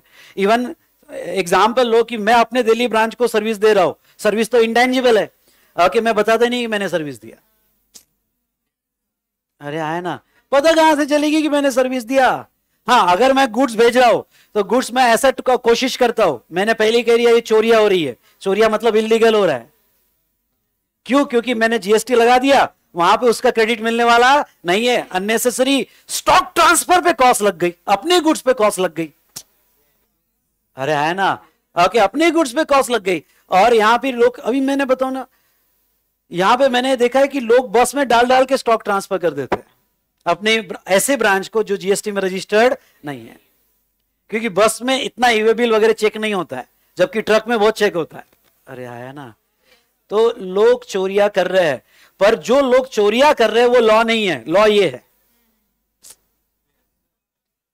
अब कोई मेरे पास आता है और कोई मेरे को ये बोलता है कि, सर, मैं ओके हमने तो देखा है कि बिज़नेस में ऐसा होता है। तुमने चोरी देखी है। मैं लॉ पढ़ा रहा हूँ। ये समझा, नहीं समझा? हाँ। तो ये देखा हमने यहाँ पे स्टॉक ट्रांसफ़र डन और कोई क्वेश्चन माइक द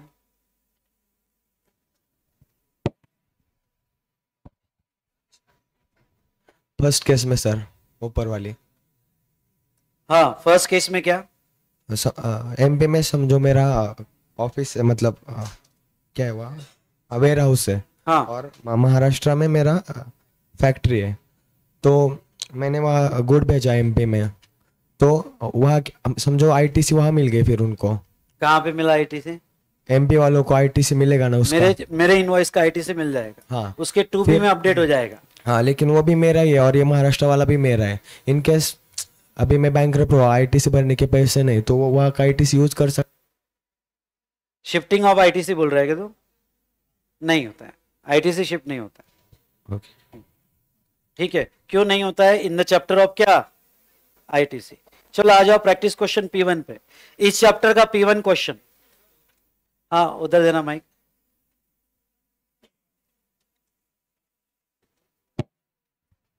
सर जो ये लास्ट केस है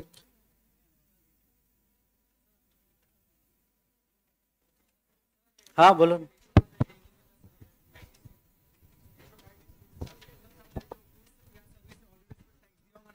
पहले. सर फिर वापस टैक्स नहीं ना वापस कैसे टैक्स होगा? तू पहला केस बोल रहा है ना? लास्ट केस लास्ट के केस में तो देख तूने जो गुड्स भेजा वो हो सकता है गुड्स तूने खरीदा होगा। जैसा मैंने टीवी भेजा यहाँ से टीवी कहाँ भेजा? दिल्ली। तो टीवी जब मैंने पहले खरीदा होगा तो उसका आईटीसी लिया होगा। ठीक है? उसका आईटीसी लिया और वापस जीएसटी लगा के उसका सेट ऑफ़ कर लिया। तो यहाँ नुकसान किसका हुआ? मेरा नहीं। ये जीएसटी लगा के मैंने जो दिल्ली ब्रांच को भेजा उसके टैक्स का नुकसान हुआ। नुकसान हुआ। नुकसान हुआ। गवर्नमेंट पैसा ले रही है। यहाँ लोगों का नुकसान है। इसलिए मैं कह चुका हूँ यहाँ सबसे ज़्यादा चोरी है। समझा? हाँ।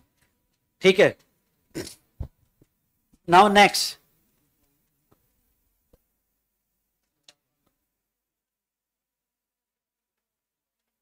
अरे भाई साहब, ये कौन नमूना है? जीएसटी का फुल फॉर्म क्या है?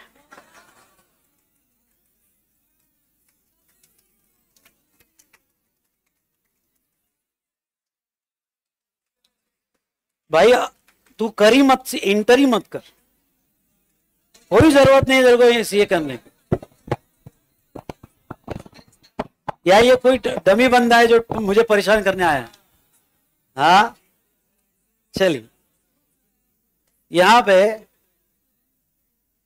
तू घर पे छोटा भीम देख। हाँ पोगो देख पोगो देख। Okay. V Smart Academy has various branches located in different place in the state of Maharashtra. एक अंडरलाइन करो। अब सर एक ये सब कॉन्सेप्ट समझ लिए पिक्चर भी अच्छे लगे। ओके पिक्टोरियल प्रेजेंटेशन में बुक आया, मज़ा आ गया। वो सब जाने तो एग्ज़ाम में क्वेश्चन कैसे आएँगे और प्रेजेंट कैसे करना चाहिए, ठीक है? तो यहाँ पे V smart academy have various branches located in different places in the state of क्या? महाराष्ट्र इसमें branch one Mumbai Nagpur and Nashik state whether vsmart academy is eligible for single registration for all branches in a state? सोच के बताना। एक गलती छह महीना है। सारी ब्रांचेस एक ही स्टेट में है तो क्या मैं सिंगल रजिस्ट्रेशन ले सकता हूँ? हाँ। एक स्टेट में मैं ले सकता हूँ ना। कंपलसरी रजिस्ट्रेशन कब आता है? जब सेपरेट स्टेट में। समझ समझ में आया ना? एक स्टेट में मैं ले सकता हूँ। इज़ इट क्लियर उसके बाद में if answer to one is yes कभी कभी क्वेश्चन में ही आंसर होता है। Yes then state whether goods transfer और service provided by Pune head office to various branches within same state would treated as supply अगर तुम सिंगल रजिस्ट्रेशन ले रहे हो क्वेश्चन को समझो, अगर तुम सिंगल रजिस्ट्रेशन ले रहे हो और अपने ही ब्रांच को ट्रांसफ़र कर रहे हो तो वो सप्लाई है? नहीं। वो सप्लाई नहीं है। वहाँ टैक्स इनवॉइस बनेगा या चालान बनेगी? चालान बनेगी। Now third is V smart of for separate registration opt मतलब अगर सेम स्टेट में तो मेरे पास ऑप्शन है। मैं चाहूँ तो सेपरेट रजिस्ट्रेशन ले सकता हूँ। ठीक है?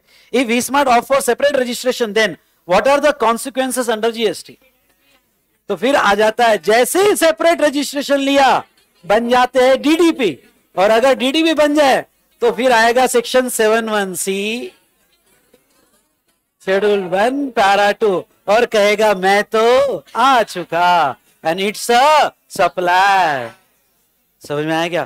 पर सर सेल कहा है। इट्स अ सप्लाई सर ये तो स्टॉक ट्रांसफ़र है। इट्स अ सप्लाई क्या जीएसटी देना पड़ेगा? इट्स अ सप्लाई समझ में आया क्या? सब देना पड़ेगा। I hope you understood okay तो चलो, आप कैसे प्रेजेंट करना? लिखो। अब जो ऑनलाइन कनेक्टेड है, जिनका लैग अगर इन बिटवीन होता है तो ये स्टूडेंट्स जो लिखेंगे, ये इमीडिएट क्लास होने के बाद, क्योंकि मैं डिक्टेट करने वाला हूँ तो इमीडिएट क्लास होने के बाद मैं शेयर कर दूँगा। इसलिए जो ऑनलाइन कनेक्टेड है, कहीं पे लैग में अगर वर्ड्स मिस हो जाते हैं तो उतना गैप छोड़ के आगे बढ़ो। अदरवाइज़ ओके आप, मैं जो अभी टेलीग्राम ग्रुप में शेयर करूँगा, वो आपको बाद में लिखना पड़ेगा। ठीक है? तो चलिए I am going to repeat इतना अब ऑनलाइन स्टूडेंट के लिए जहाँ लैग होता है, वहाँ प्रॉब्लम आ सकता है। ठीक है? पहला, लिखने का तरीका कैसा होना चाहिए? चैप्टर हेडिंग क्या दे? नालाय को हम कौन से चैप्टर में थ्री चैप्टर का नाम क्या है? कॉन्सेप्ट ऑफ़ सप्लाई ये न? मैं सिर्फ़ इंटर तक ही पढ़ाता हूँ इसलिए। फाउंडेशन तो जाता ही नहीं। ठीक है? तो यहाँ पे चैप्टर थ्री टाइटल दो नाम दो कॉन्सेप्ट ऑफ़ सप्लाई उसमें P1 P1 का page number cross reference page डाल दो आपके प्रैक्टिस नोटबुक में।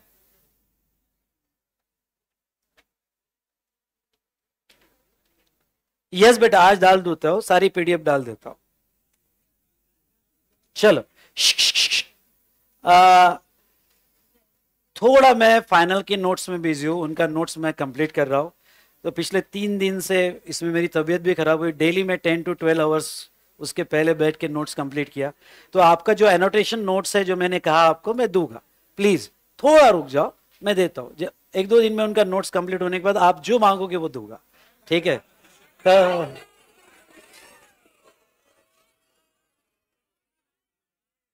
नाउ टाइम वेस्ट मत करो, चलो फटाफट। कैसे लिखना चाहिए? सबसे पहले हम जब यहाँ पे आंसर लिखेंगे, सबसे बेस्ट तरीका क्या है? यह है कि लॉ क्या कहता है? What is the legal provision question identify मेरे साथ सभी इन्वॉल्व हो गए अभी। और इमेजिन करोगे आप एग्जामिनेशन हॉल में बैठे हो, कोई बात नहीं करेगा।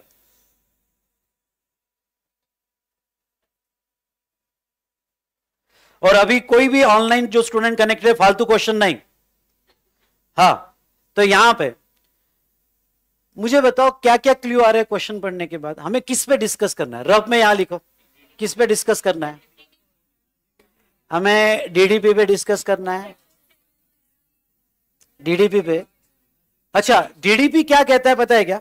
डीडीपी वो कहता है कि आपने सेपरेट रजिस्ट्रेशन लिए तो डीडीपी पर उसके पहले हमें यह भी डिस्कस करना है कि क्या सेम स्टेट में हम सिंगल रजिस्ट्रेशन वो आता है सेक्शन 25 में।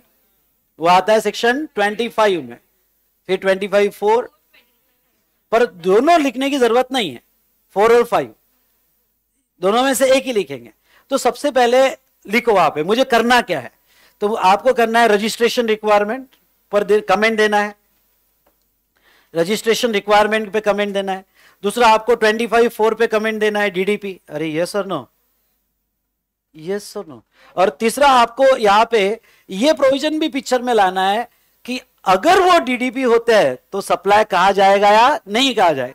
यानी seven one C schedule one para two ये समझा क्या? ये तीन प्रोविजंस आपको रेफर करने हैं। सर अगर हमें सेक्शन याद नहीं रहे तो ओके पहले तो हम ये चलूँगा कि आपको सेक्शन याद है। फिर उन स्टूडेंट्स के लिए जिनको सेक्शन याद नहीं है तो वो कैसे मैनेज करेंगे? सो मैक्सिमम मार्क्स मिले। अरे हाँ है ना। तो चलिए, पहले तो हम ये कि भाई, हमें सारे सेक्शंस याद है। चलो, लिखो। तो आप लिखते वक्त पहला टाइटल दो लीगल प्रोविज़न लॉ क्या कहता है, पहले एक्सप्लेन करो। लिखो।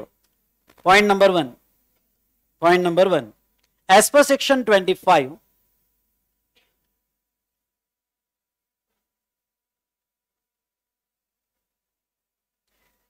as section twenty five state wise state wise registration is compulsory.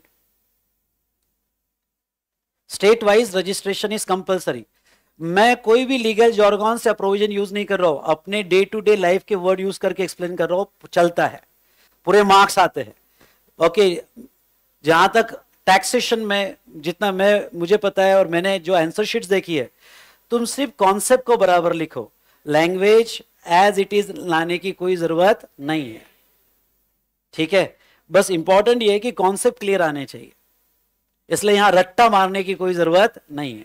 Concept clear होने चाहिए।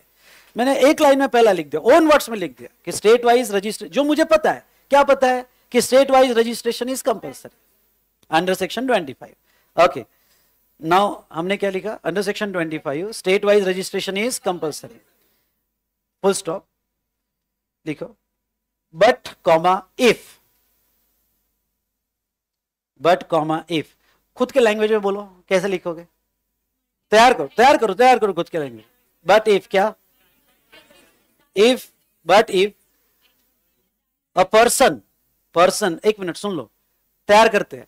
But if a person having multiple branches multiple word याद नहीं आ रहा है more than one branches in a single state in a single then he can take a single registration और at his option he can take a multiple registration समझ में आ रहा है? समझ में आया सिंपल वर्ड में लिखो। कोई ज़्यादा टेंशन नहीं लेने का। ठीक है? तो लिखो। But if a person a person having having multiple branches. But if a person having multiple branches in a single state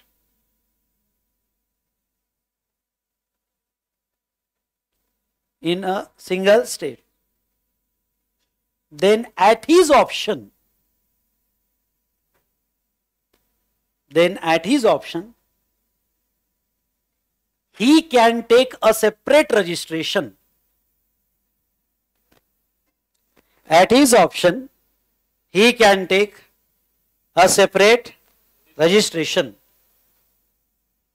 मतलब उसके ऑप्शन पे separate registration full stop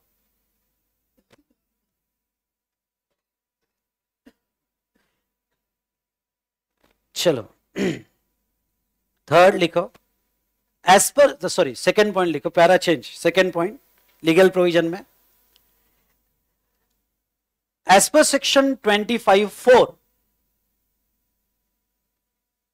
as per section 25.4 onwards बना क्या है 25 जाने दो लीगल जॉर्गन सब जाने दो। ऑनवर्ड्स जो समझा उसके ऊपर बनाओ। नहीं। 25.4 क्या है? डीडीपी मतलब क्या बोलना हमें? If a person having a multiple registration in a same state और डिफरेंट स्टेट समझ में आया क्या? सेम स्टेट और मेरे साथ इन्वॉल्व हो जाओ। मैं जीएसटी बहुत इजी करके दूँगा आपको। इन अ सेम स्टेट और क्या? डिफरेंट स्टेट तो then then for each such registration her registration के लिए is such registration treated as deemed distinct person समझ में आया ना? तो as per section twenty five four if a person if a person registration multiple registration मेरे dictation से ज़्यादा खुद बनाओ यह आदत इतनी ज़बरदस्त लगा दो, और जिसको यह आदत लग गई, उसके लिए कोई भी प्रोफेशनल कोर्स सीए हो सीएमए हो सीएस हो बहुत आसान है। और जो बुक्स के लैंग्वेज में फंसा। वो तो कियो? फिर वो उसको आदत हो जाती है, नहीं नहीं, वैसे ही आना चाहिए, नहीं नहीं, वैसे ही आना चाहिए। समझ में आया क्या? नहीं याद आया तो फिर टेंशन। तो मैं ही आदत लगाऊँगा आपकी। हमने क्या लिखा? As per section twenty five four if a person having multiple registration अच्छा ये मल्टीपल रजिस्ट्रेशन अलग अलग हो सकता है या सेम स्टेट में भी हो सकता है? तो multiple registration in a state in a state in a state और in different state in different state और यूटी डिफरेंट स्टेट और यूटी देन देन एक मिनट अब आप क्या लिख सकोगे शाल बी ट्रीटेड जीडीपी उससे अच्छा वर्ड आएगा फॉर ईच रजिस्ट्रेशन हर एक रजिस्ट्रेशन समझ में आया ना? Okay then for each registration each registration they are treated as DDP shortcut बात लिखना हमारे समझने के लिए। कोई भी शॉर्टकट जो मैं यहाँ पे यूज़ कर रहा हूँ, वो एग्ज़ाम में नहीं चलेगा। ठीक है? दे आर ट्रीटेड एज क्या? Deemed distinct person very good लिखो। डीम डिस्टिंग पर्सन डन अब मुझे तीसरा लिखना है। अगर वो डीडीपी हो गए तो फिर, अगर उसमें कोई सप्लाई होता है तो वो जीएसटी में आएगा। लिखो as per section seven one C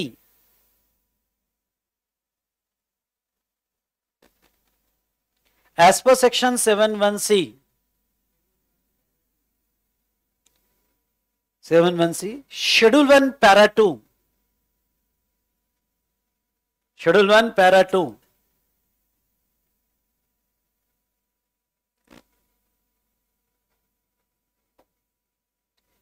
if goods or services goods or services supplied between the DDP supplied between the kya DDP DDP then they are liable to kya GST they are liable to GST ये मैंने conclusion दिया कि law explain किया। Law explain okay नीचे second title तो discussion and conclusion discussion भी करेंगे and conclude भी करेंगे। उसमें पहला पहला क्या पूछा उन्होंने? Set whether V Smart Academy is eligible to single registration of all branches लिखो yes yes comma V Smart Academy Yes, V Smart Academy can take a single registration, single registration for all branches, for all branches located in the state of Maharashtra. Acha, practical थोड़ा देखते हैं। मुझे बताओ, जब आप registration लोगे एक single registration ले रहे हैं ना फॉर्म कौन सा होगा? रजिस्ट्रेशन का आरईजी रजिस्ट्रेशन का आरईजी ज़ीरो वन एप्लीकेशन जाओगे आरईजी ज़ीरो वन में जाओगे। अरे यस सर नो और ये आर आरईजी ज़ीरो वन में जब आप जाओगे तो यहाँ पे okay principal place of business क्या होगा? जनरली पुणे क्योंकि हेड ऑफ़िस पुणे है। और additional place of business Mumbai, Nagpur, Nashik. Is it clear उनका डिटेल जाएगा। चलो, जो भी है। ये एग्ज़ाम में नहीं लिखना है प्रैक्टिकल ओरिएंटेड थोड़ा। Now next if answer to one is yes the state whether goods transfer और service provided by Pune head office to various branch office will be treated as supply okay लिखो। Answer no लिखना। पर ये CPT exam नहीं है। या foundation exam नहीं है कि यस नो लिख दिया मार्क्स मिल गए, नहीं रीजन देना पड़ेगा। लिखो section seven one C section seven one C is applicable only only when only when goods or services are transferred goods or services are transferred between DDP. Between क्या DDP. Full stop. In given case, full stop. In given case,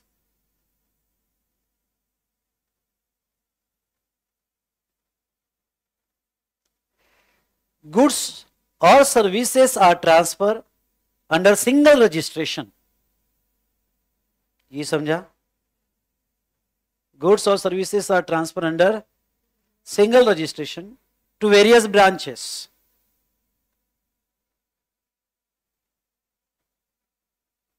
hence,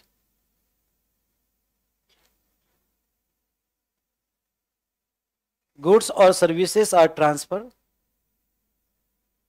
under single registration to various branches. Hence, such transfer is not treated as supply. Hence, such transfer is not treated as supply. आगे के statement क्या आने चाहिए खुद ही imagine करो और मेरे साथ मैच करो कि वैसे ही आ रहे क्या या थोड़े बहुत डिफरेंस चलेगा पर मोस्टली वैसे ही आ रहे क्या ओन वर्ड्स में नॉट ट्रीटेड एज सप्लाई वो सप्लाई नहीं बोले जाएँगे third Is VSmart off for separate registration? Then what are the consequences under GST? Likho. Third likho. If third likho. If VSmart off for separate registration, if VSmart off for separate registration,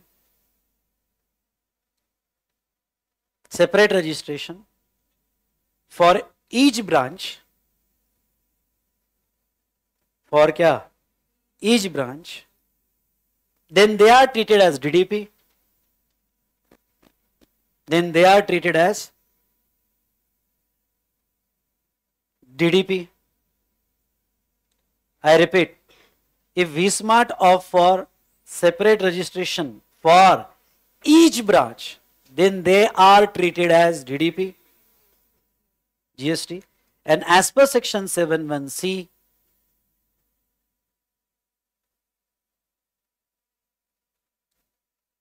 as per section 71C, schedule 2, para 1, ऐसा ही है ना schedule one para two as per section seven one C schedule one para two such transfer of goods goods or service such transfer of goods service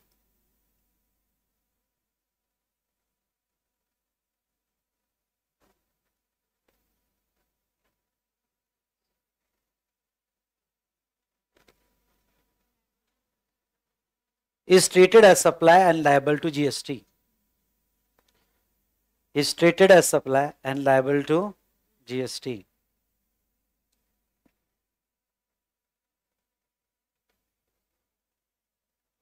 Question number P2.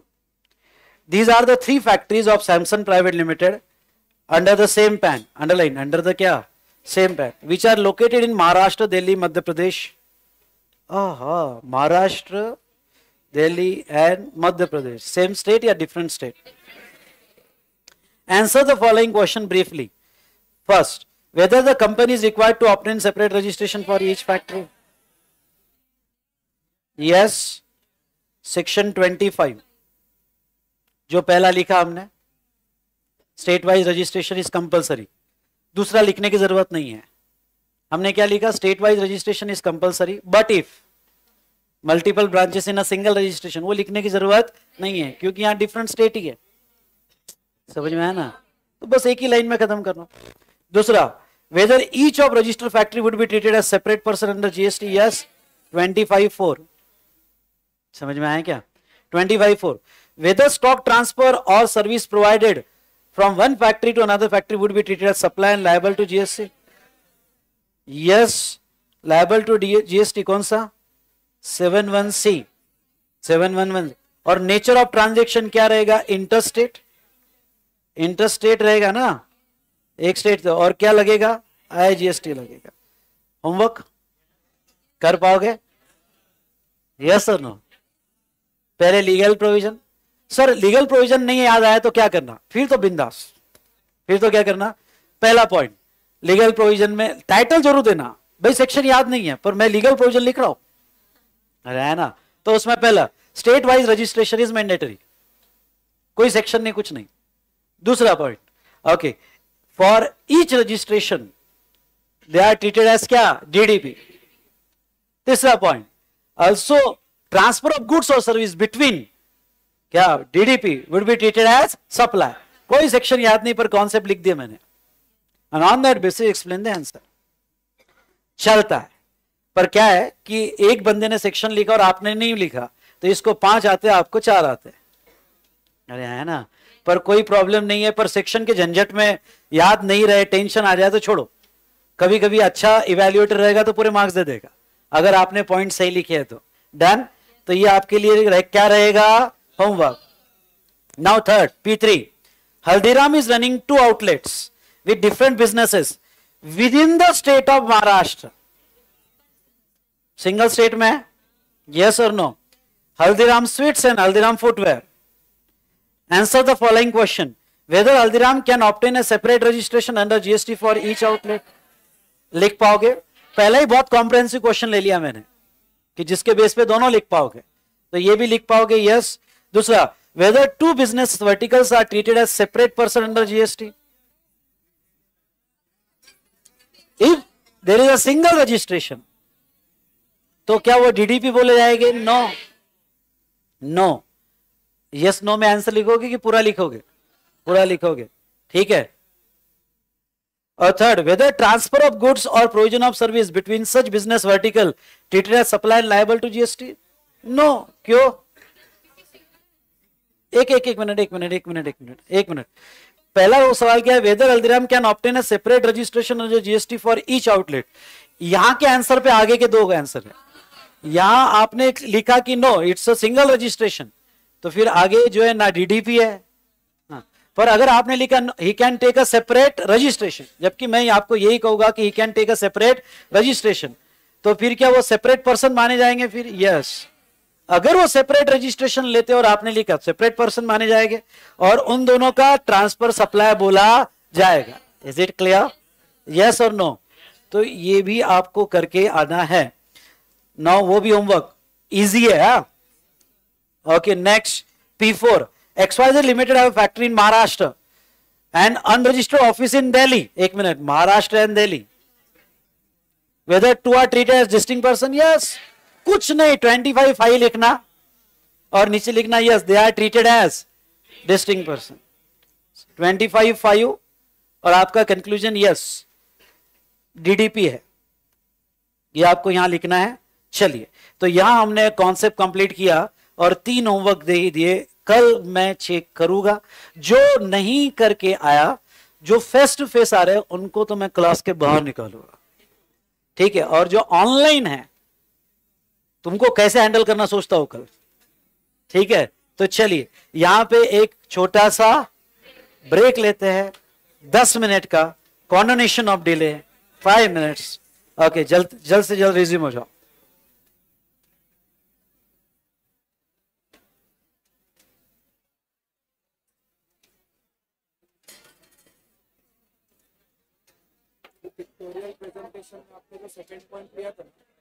हम्म? ते ब्रेकच हे घेणं हा।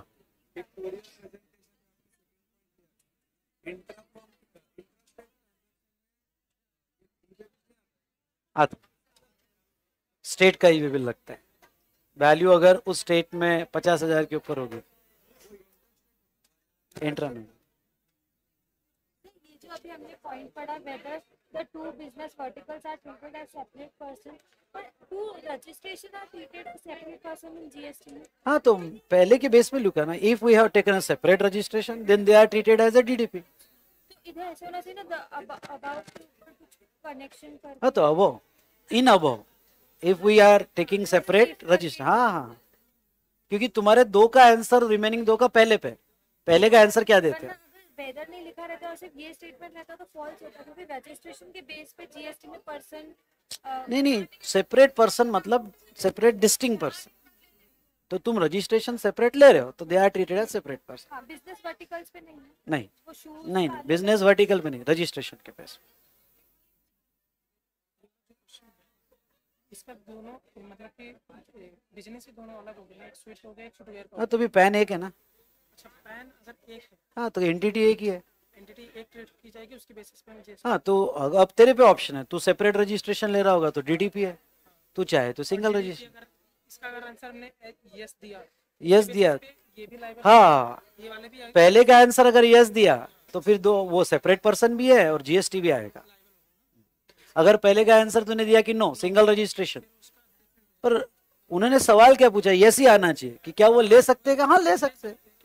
तो option है ना उसमें। हल्दीराम में अगर दोनों अलग अलग बिज़नेस कराते अलग अलग पान पान तो फिर तो वो सेपरेट रजिस्ट्रेशन कंपलसरी है। If they having a separate PAN तो separate registration is mandatory if they their turnover exceeds threshold वहाँ पे तो टैक्स का कम हो जाए ना थोड़ा मतलब चोरी होगा। नहीं नहीं इट्स अलाउड मैं मेरी फार्म है मेरे वाइफ के नाम पे अलग है मेरे नाम पे अलग है। मेरी पार्टनरशिप अलग है। तो यहाँ इतना वो बाय लॉ अलाउड है। Because entity is different so your GST number you you are writing different entity code. understood? uh, different.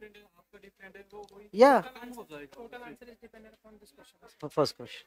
Sir जर मी एखाद्या रजिस्टर वेंडर करून एखादी म- काही मटेरियल परचेस हम्म. केलं पण त्यानं जीएसटी ॲप मध्ये ते अपडेट केलं आणि त्या महिन्यामध्ये मला त्याचं अं, म्हणजे इनपुट मिळालेलं नाही. पण पुढल्या महिन्यामध्ये मला लक्षात आलं की त्यानं केलेलं नाही. म्हणजे रेस्ट मतलब इनपुट टाकलं नव्हतं. तो तो पुढच्या महिन्यात घेऊ शकतो ना त्याला सांगा टाकायला. टाइम लिमिट किती असते? पुढच्या सबसिक्वेंट इयरच्या नोव्हेंबरच्या अगोदर. म्हणजे या वर्षात कधी पण मिस झालं तरी तिथं भीती घ्यायची जरूरत नाही आहे पुढच्या वर्षीच्या नोव्हेंबरपर्यंत तो कधी पण टाकू शकता. त्याच्या म्हणजे आम्हाला क्रेडिट कधीपर्यंत मिळतं? तर पुढच्या वर्षीच्या तीस नोव्हेंबरच्या अगोदर आमच्या टूबीमध्ये आलं पाहिजे. ठीक आहे?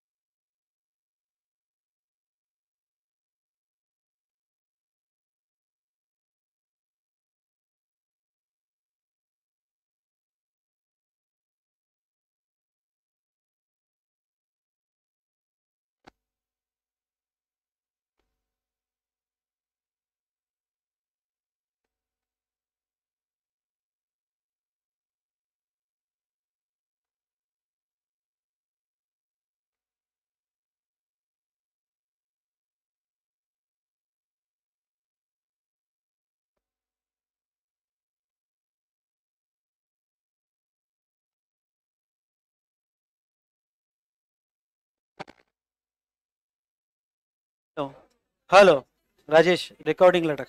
हूँ मैं आपके पास हूँ। हाँ विकास से आई हूँ इस बार हमें नेशनल कॉन्फ्रेंस पार्टिसिपेट करना है।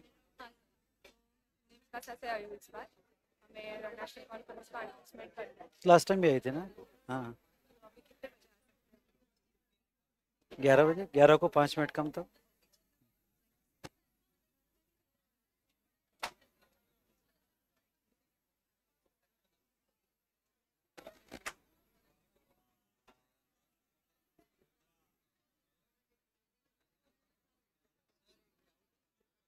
डाउट का टाइम गया बेटा। अब ग्यारह बजे आए चलिए। चलो कनेक्ट हो जाओ। बातें, शाते, मुलाकातें क्लास के बाद। तो चलिए कनेक्ट हो जाओ।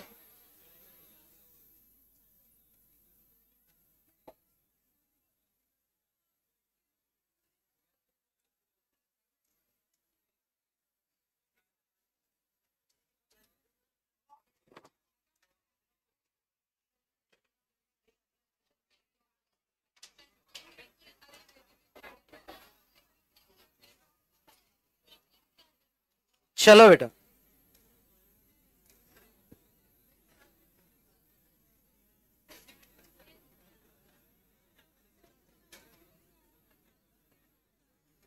यस लिख सकते हो। सिमरन लिख सकते हो। चलो, एक बार फिर से। यहाँ पे कुछ स्टूडेंट्स को ये क्वेश्चन में थोड़ी दिक्कत जा रही है, मैं एक्सप्लेन कर देता हूँ। Haldiram is running two outlets with different business with the state of Maharashtra and within the state of Maharashtra. एक ही स्टेट में है Haldiram sweets and Haldiram footwear अब देखो even though nature of business अलग होगा तो भी सेम स्टेट में है तो आप चाहो तो सिंगल रजिस्ट्रेशन ले सकते हो आप चाहो तो डिफरेंट रजिस्ट्रेशन ले सकते हो आपके पहले वाले जो क्वेश्चन ए है उसके आंसर पे आगे के दो आंसर डिपेंड्स है अगर whether Haldiram can obtain separate register under GST for each outlet generally question पूछने का तरीका ऐसा है कि यस ही आना चाहिए। अरे है ना? Okay okay. उन्होंने कहा, क्या वो सेपरेट ले सकते हैं? हाँ ले सकते हैं। तो अगर पहले का आंसर आपने लिखा कि yes they can take a separate registration sir मैंने ऐसा लिख दिया तो नो दे कैनॉट टेक ऐसा तो लॉ नहीं बोलता है। अरे ना? लॉ बोलते हैं, आप ले सकते हो। तो ज़्यादा बेटर आपका आंसर ये आना चाहिए कि yes they can take a separate registration हाँ आपने यस बोला कि फिर दूसरा और तीसरा उसके बेस पर है। अगर सेपरेट रजिस्ट्रेशन लिया तो for each registration I repeat for each registration they are treated as distinct person और फिर वो सप्लाई बोला जाएगा। ठीक है? हाँ? नहीं, पर पूछने का तरीका है कि ले सकते हैं क्या? यस ठीक है? यस ठीक है. चलो. नाउ प्लीज़ कीप साइलेंस अगर आप ऐसे लिखते हो कि वो नहीं ले रहा है नहीं लेना चाहता है तो फिर दूसरा और तीसरा आंसर बदल जाएगा. लेकिन, मेरा ये कहना है कि जब पूछा उस ढंग से ले सकते हैं क्या तो उसी ढंग से आंसर दो ना. ठीक है? हाँ.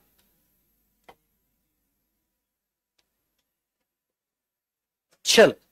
अब आ जाओ next taxable person important definition अगर आपको सेक्शन नाइन का चार्ट याद होगा, जाओ सेक्शन नाइन के चार्ट में।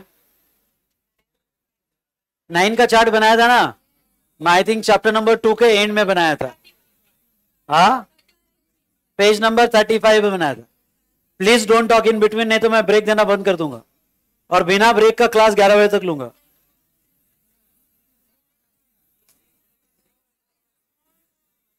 ठीक है?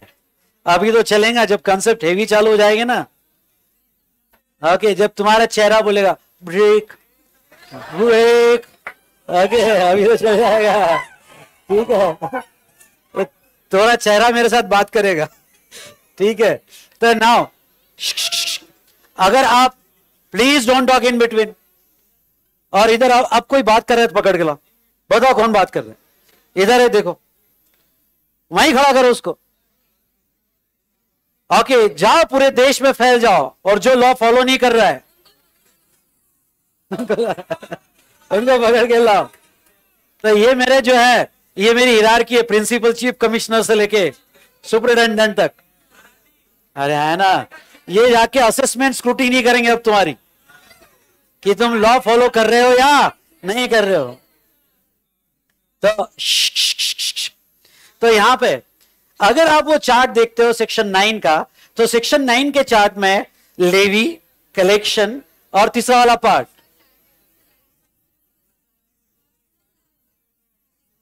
person liable to pay tax ये बता बेटा person liable to pay tax खड़ा हो जाओ कौन है person liable to pay tax जो टैक्स पे करता वाह वाह। क्या आंसर भाई साहब section nine nine one open कर। सेक्शन नाइन वन का चार्ट और यहाँ पे, क्या लिखा है नाइन वन के चार्ट में? अब ये मत बोलना कि जो टैक्स पे करता है, वही टैक्स देगा फिर तो। वर्ड है taxable person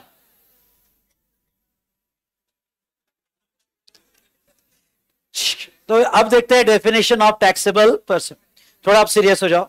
Important discussion please don't talk in between means a person who is registered और liable to registered under section 22 और 24 एक बार फिर से लिंक लगाते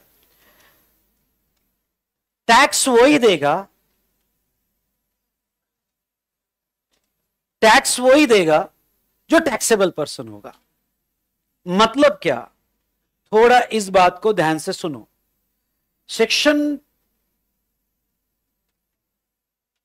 यहाँ पे नाइन वन कहता है, आप पे चार्ज जो है लेवी जो है, वो इंट्रास्टेट और इंटरस्टेट सप्लाई होते आ जाएगी। बट लेवी का और एक हमारा क्राइटेरिया है। सिर्फ़ इतना ही क्राइटेरिया नहीं है कि आपने सप्लाई कर दिया और जीएसटी आ गया। नहीं, इतना ही नहीं है।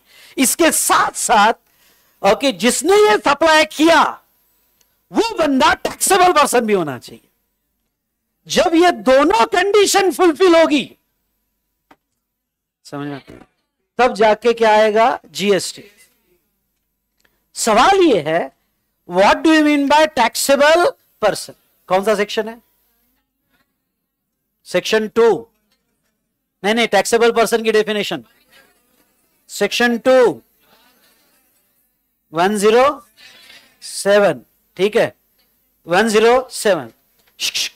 Section two one zero seven कहता है taxable person please important discussion है। आप यहाँ आपके लिए बैठे हो, मेरे लिए नहीं। ठीक है? टैक्सेबल पर्सन मतलब क्या? पढ़ो डेफिनेशन क्या बोला है? पर्सन हु इज़ रजिस्टर्ड और liable to registered liable to registered under section 22 और सेक्शन 24 डन नहीं नहीं ड्रॉ करेंगे ड्रॉ करेंगे. दो मिनट रुक जाओ. पहले मुझे एक्सप्लेन करने दो. अंडर सेक्शन 22 एंड सेक्शन क्या? 24 अब सुनो. सुनो सुनो। ठीक है? पर्सन हु इज़ रजिस्टर्ड वो टैक्सेबल पर्सन मैंने पहले ही कह दिया, आपको इसकी डोर पहले ही बाँध के रखी थी कि अगर आप थ्रेशोल्ड ले रहे हो थ्रेशोल्ड मतलब? थ्रेशोल्ड मतलब ऐसी लिमिट जहाँ तक आपको रजिस्ट्रेशन करने की ज़रूरत नहीं है। छोटे बिजनेसमैन को इंडियन गवर्नमेंट ने उनके बिज़नेस को प्रमोट करने के लिए थ्रेशोल्ड दिया। एक बार फिर से सुन लो। अगर कोई पॉइंट मिस हो जाए तो भी अभी याद आ जाएगा। थ्रेशोल्ड दिया है ट्वेंटी लैक्स तक। पहले ट्वेंटी लैक्स के इनवाइसेस पे, यानी आपके टर्न ओवर पे क्यूमुलेटिवली क्यूमुलेटिवली मतलब पहला स्टूडेंट आया, दूसरा आया, तीसरा आया क्यूमुलेटिवली पहले 20 लाख तक आपको जीएसटी में रजिस्टर करने की कोई भी ज़रूरत नहीं है। और आपको जीएसटी पे करने की ज़रूरत नहीं है और कलेक्ट करने की भी ज़रूरत नहीं है। कलेक्ट करने की ज़रूरत नहीं है। I hope you understood now यहाँ पे एक स्टोरी सुनाना चाहूँगा। बात निकली है तो दो तो लग जाएगी। 2004 की बात है। 9 सितंबर को मैं, मेरा सीओपी आ गया। सीओपी मतलब सर्टिफिकेट ऑफ़ प्रैक्टिस 2004 में। और जब मेरा सीओ भी आ गया सीए बन गया क्लास तो उसके पहले ही चालू कर दिए थे। तो अब यहाँ सुनो नालायक वहाँ गया पार्टी शार्टी। अब मैं, तब सर्विस टैक्स लॉ अप्लीकेबल था। पर अभी अब आ गया और थोड़े रिलैक्स भी हो गए क्लास ठीक है, चालू कर रहे थे तो डेवलपमेंट स्टेज पे था। तो अब ऐसे केस में मैंने सोचा कि चलो यार, अब रिलैक्स होके पढ़ाई से जिम विम लगाते हैं। ठीक है? तो ठीक है। जिम लगाने गया मैं और मेरा फ्रेंड तब सर्विस टैक्स अप्लीकेबल था और सर्विस टैक्स में भी थ्रेशोल्ड था दस लाख। अभी हमारे जीएसटी में कितना है? बीस लाख। हमने एक एड देखी और तब तो ऐसा था, सस्ता कहाँ मिलता है? ठीक है लिमिटेड पैसा देता था। सस्ता जहाँ मिलेगा, वो अपना। तो जहाँ तक है, सिर्फ़ खर्चा एक ही जगह होता था डबल सीट बैठाने में।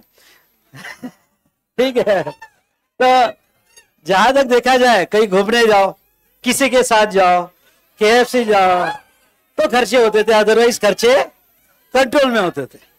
ठीक है। तो अब नालायक इशू लास्ट थी हाँ तो जहाँ तक देखा जाए तो ऐसे केस में नहीं नहीं नहीं सर देखो क्या है एक टाइम सबका रहता है। मुझे याद है मैं और विनोद हम दोनों फ्रेंड्स थे तो मैं और विनोद ऐसे मस्त घूमने जाते थे। तो आ, आ, विनोद रेड्डी सर हाँ। पर हमारा टीटीएमएम होता था। खर्चे भी टीटीएमएम में होते थे। तो अब देखो क्या हो कंट्रोल कंट्रोल हुआ क्या? तो आ, मैं जिम गया और जीएसटी पढ़ाना तब सर्विस टैक्स पढ़ाना चालू कर दिया था। तो मैंने कहा कि ये कितना पेपर में ऐड देखा नया जिम स्टार्ट हुआ। तो उन्होंने कहा था कि भाई थ्री थाउज़ेंड में पूरा एंटायर ईयर मैंने कहा चलो थ्री थाउज़ेंड में पूरा एंटायर ईयर मिल रहा सस्ता लग रहा है। ओके और पूरा साल यहाँ पे थ्री थाउज़ेंड में मिल जाएगा और उसका भी स्टार्ट था। स्टार्ट था अभी अभी बिज़नेस चालू किया था। तो मैं गया उन्होंने बिल बनाया। और बिल में उन्होंने यहाँ पे वैल्यू लिखी थ्री थाउज़ेंड और उसके ऊपर लगाया सर्विस टैक्स उसके ऊपर लगाया सर्विस टैक्स तब सर्विस टैक्स जो था, ओके, पाँच परसेंट था, फिर दस हुआ, फिर पंद्रह हुआ, पर उससे कंसर्न नहीं। अगर टाइम पास करना है तो बता दे। करना है। मेरा टाइम भी बेकार मत करो। देखिए यार जीएसटी पढ़ाना है ना, मैं तुमको फिर जनवरी एंड तक नहीं, मैं दस दिन में खत्म कर दू। नेक्स्ट मेरी स्पीड उतनी है कि मैं अगले नेक्स्ट दिन में, दस दिन में खत्म कर दूँगा। पर तुम तुम एब्जॉर्व नहीं कर पाओगे। और मेरे पास इतना टाइम नहीं है अभी कि मैं तुमको एग्ज़ाम्पल से समझाओ प्रैक्टिकल ओरिएंटेड समझाओ लिखवा के भी दू क्वेश्चंस भी करूँ कॉन्सेप्ट भी समझाओ और इतना टाइम पास भी करो। ठीक है? तो अब बेटा मैं जब गया तो मैंने देखा, मैंने कहा, ठीक है। उसने सर्विस टैक्स भी लगाया था। पाँच परसेंट सर्विस टैक्स था। तो मैंने देखा मैंने देखा कि सर्विस टैक्स रजिस्ट्रेशन नहीं है। आज जीएसटी के कॉन्स्टिक में हम जीएसटीन बोलते हैं, जो बिल पे होना चाहिए। जीएसटीन टी आई एन ठीक है? तो मैंने सर्विस टैक्स मैंने कहा आपका, आपने सर्विस टैक्स मेरे से कलेक्ट किया है। रिसेप्शन में जो उनका मैनेजर था, आपने मैंने कहा सर्विस टैक्स कलेक्ट किया? तो उन्होंने कहा हाँ सर्विस टैक्स लगता है इट्स अ सर्विस तो मैंने कहा कि आपका बिल पे तो सर्विस टैक्स रजिस्ट्रेशन दिख नहीं रहा है। अरे ये सर नो तो उन्होंने कहा कि, हमने अप्लाई किया अभी तक आया नहीं मैंने कहा अप्लीकेशन रेफरेंस नंबर बता क्योंकि मेरे को, मैं समझ गया था ये अभी स्टार्टअप है। इसका टर्न और मैं दूसरे दिन आया हूँ। मैं दूसरे दिन आया हूँ। कल स्टार्ट हुआ है। मैं दूसरे दिन आया हूँ। इसका टर्न और दस लाख तो डेफिनेटली क्रॉस नहीं हुआ होगा। और ये मुझे बेवकूफ़ बना रहा है, लूट रहा है। जबकि ये थ्रेशोल्ड में आई रिपीट जबकि ये थ्रेशोल्ड में वो मेरे से लेगा, पर गवर्नमेंट को बिल बदल देगा। गवर्नमेंट के लिए बिल बदल देगा। वो मेरे से लेगा, मेरे को बिल देगा, वो बिल बुक फाड़ के फेंक देगा। फाड़ के फेंक देगा और गवर्नमेंट की अलग से बनाएगा। तो मैंने कहा कि मेरे को आपका अप्लीकेशन रेफरेंस नंबर बताओ। वो मैनेजर ने कहा कि सॉरी सर वो हमारे ओनर को पूछना पड़ेगा। मैंने कहा, मैं बैठता हूँ। आप ओनर को बुला मैं दे दिया मैंने सर्विस टैक्स आपको। ठीक है ओनर को बुला तो उसने कहा सर वो तो शाम को आएँगे। कितने बजे आएँगे? बोलो। वो इधर उधर की बात। है मैंने देखो, मैं सीए हूँ और सी अभी अभी हुआ था नाइन सितंबर को। सीए भी आया था। तो मैं सीए हूँ और मैं प्रैक्टिस ही सर्विस टैक्स में करता हूँ। मुझे पता है आपका रजिस्ट्रेशन नंबर नहीं है यहाँ आप मेरे से एक्स्ट्रा कलेक्ट कर रहे हो, जबकि आप थ्रेशोल्ड में हो। और आप गवर्नमेंट को नहीं दोगे। उन्होंने, उसने कहा, नहीं नहीं सर, ऐसा नहीं हो सकता, हम देंगे गवर्नमेंट ठीक है ना? मैं आप पे ट्रस्ट करता हूँ। क्योंकि सप्लायर आप हो। ज़िम्मेदारी आपकी है। आप मेरे से ले रहे हो, मैं ट्रस्ट करता हूँ। सिर्फ़ मेरी रिक्वायरमेंट इतनी है कि इसके ऊपर मुझे सर्विस टैक्स का रजिस्ट्रेशन नंबर चाहिए। समझ में आया क्या? तो मैं इसे ऑथेंटिकेटेड और वैलिड इनवाइस मानूँगा। फिर उसने फ़ोन ओनर को फ़ोन लगाया कि भाई कोई से ये है और बोल रहा है कि सर्विस टैक्स का नंबर नहीं इनवाइस पे। मांग रहा है। तो ऑनर जो है, यहाँ पे वो कह रहे, ठीक है, मैं आता हूँ, बैठा के रख उनको। फिर उन्होंने मुझे कैबिन में बुलाया। मैंने बोला, सर, नहीं होगा ना आपके पास, मानता हूँ। तीस दिन में आता है, कभी भी आरसी तो अभी रेफरेंस नंबर बता दो मेरे को। आपने अप्लाई किया उसका। तो उसने कहा कि वो रेफरेंस नंबर हमारे सीए को पूछना पड़ा। मतलब मैं भी सीए हूँ, मेरी बात करवा मैं अड़ गया। बहुत ज़्यादा अड़ गया मैं। मेरी बात करवा तो ऐसा वैसा वो आखिरी में बोला, आपको लगाना है तो लगाओ, नहीं तो मैं रिफंड करता हूँ। नहीं इनवॉइस मेरे पास आ गया। विद सर्विस टैक्स विदाउट अब तो मेरे पैसे डूब गए तो भी चलेगा। ये इनवॉइस जाके मैं डिपार्टमेंट में बताऊँगा। डिपार्टमेंट में बताऊँगा कि आपने मेरे को सर्विस टैक्स लगाया है और मैं अब आपका चेक डिपार्टमेंट से करवाऊँगा। तो वो क्या आपकी पहचान है? मतलब वो छोड़ दो। वो छोड़ दो। मेरी पहचान है, नहीं समझ मैं बाद में बताऊँगा। मैं प्रैक्टिस इसमें करता हूँ। मैं इसको देख लूँगा कैसे हैंडल करना है। अंदर से सोच रहा था, मेरी भी काम पहचान है इतनी। कि मैं इसके आगे इसमें केस लगवाऊ। लेकिन डेरिंग हाँ कि मैं, वो क्या करना है?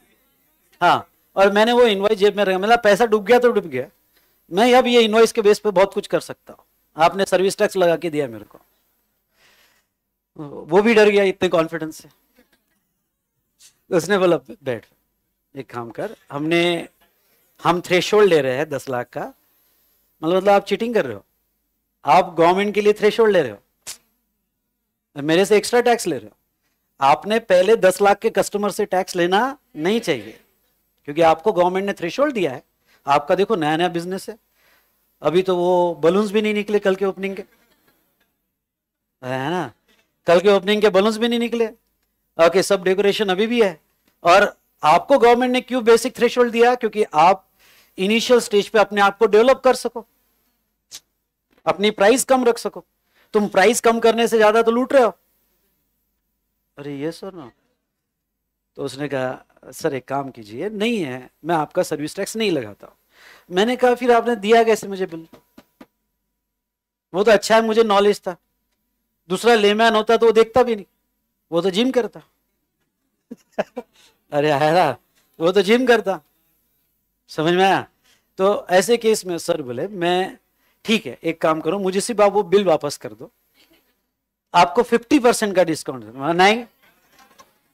बिल्कुल नहीं। बिल्कुल नहीं।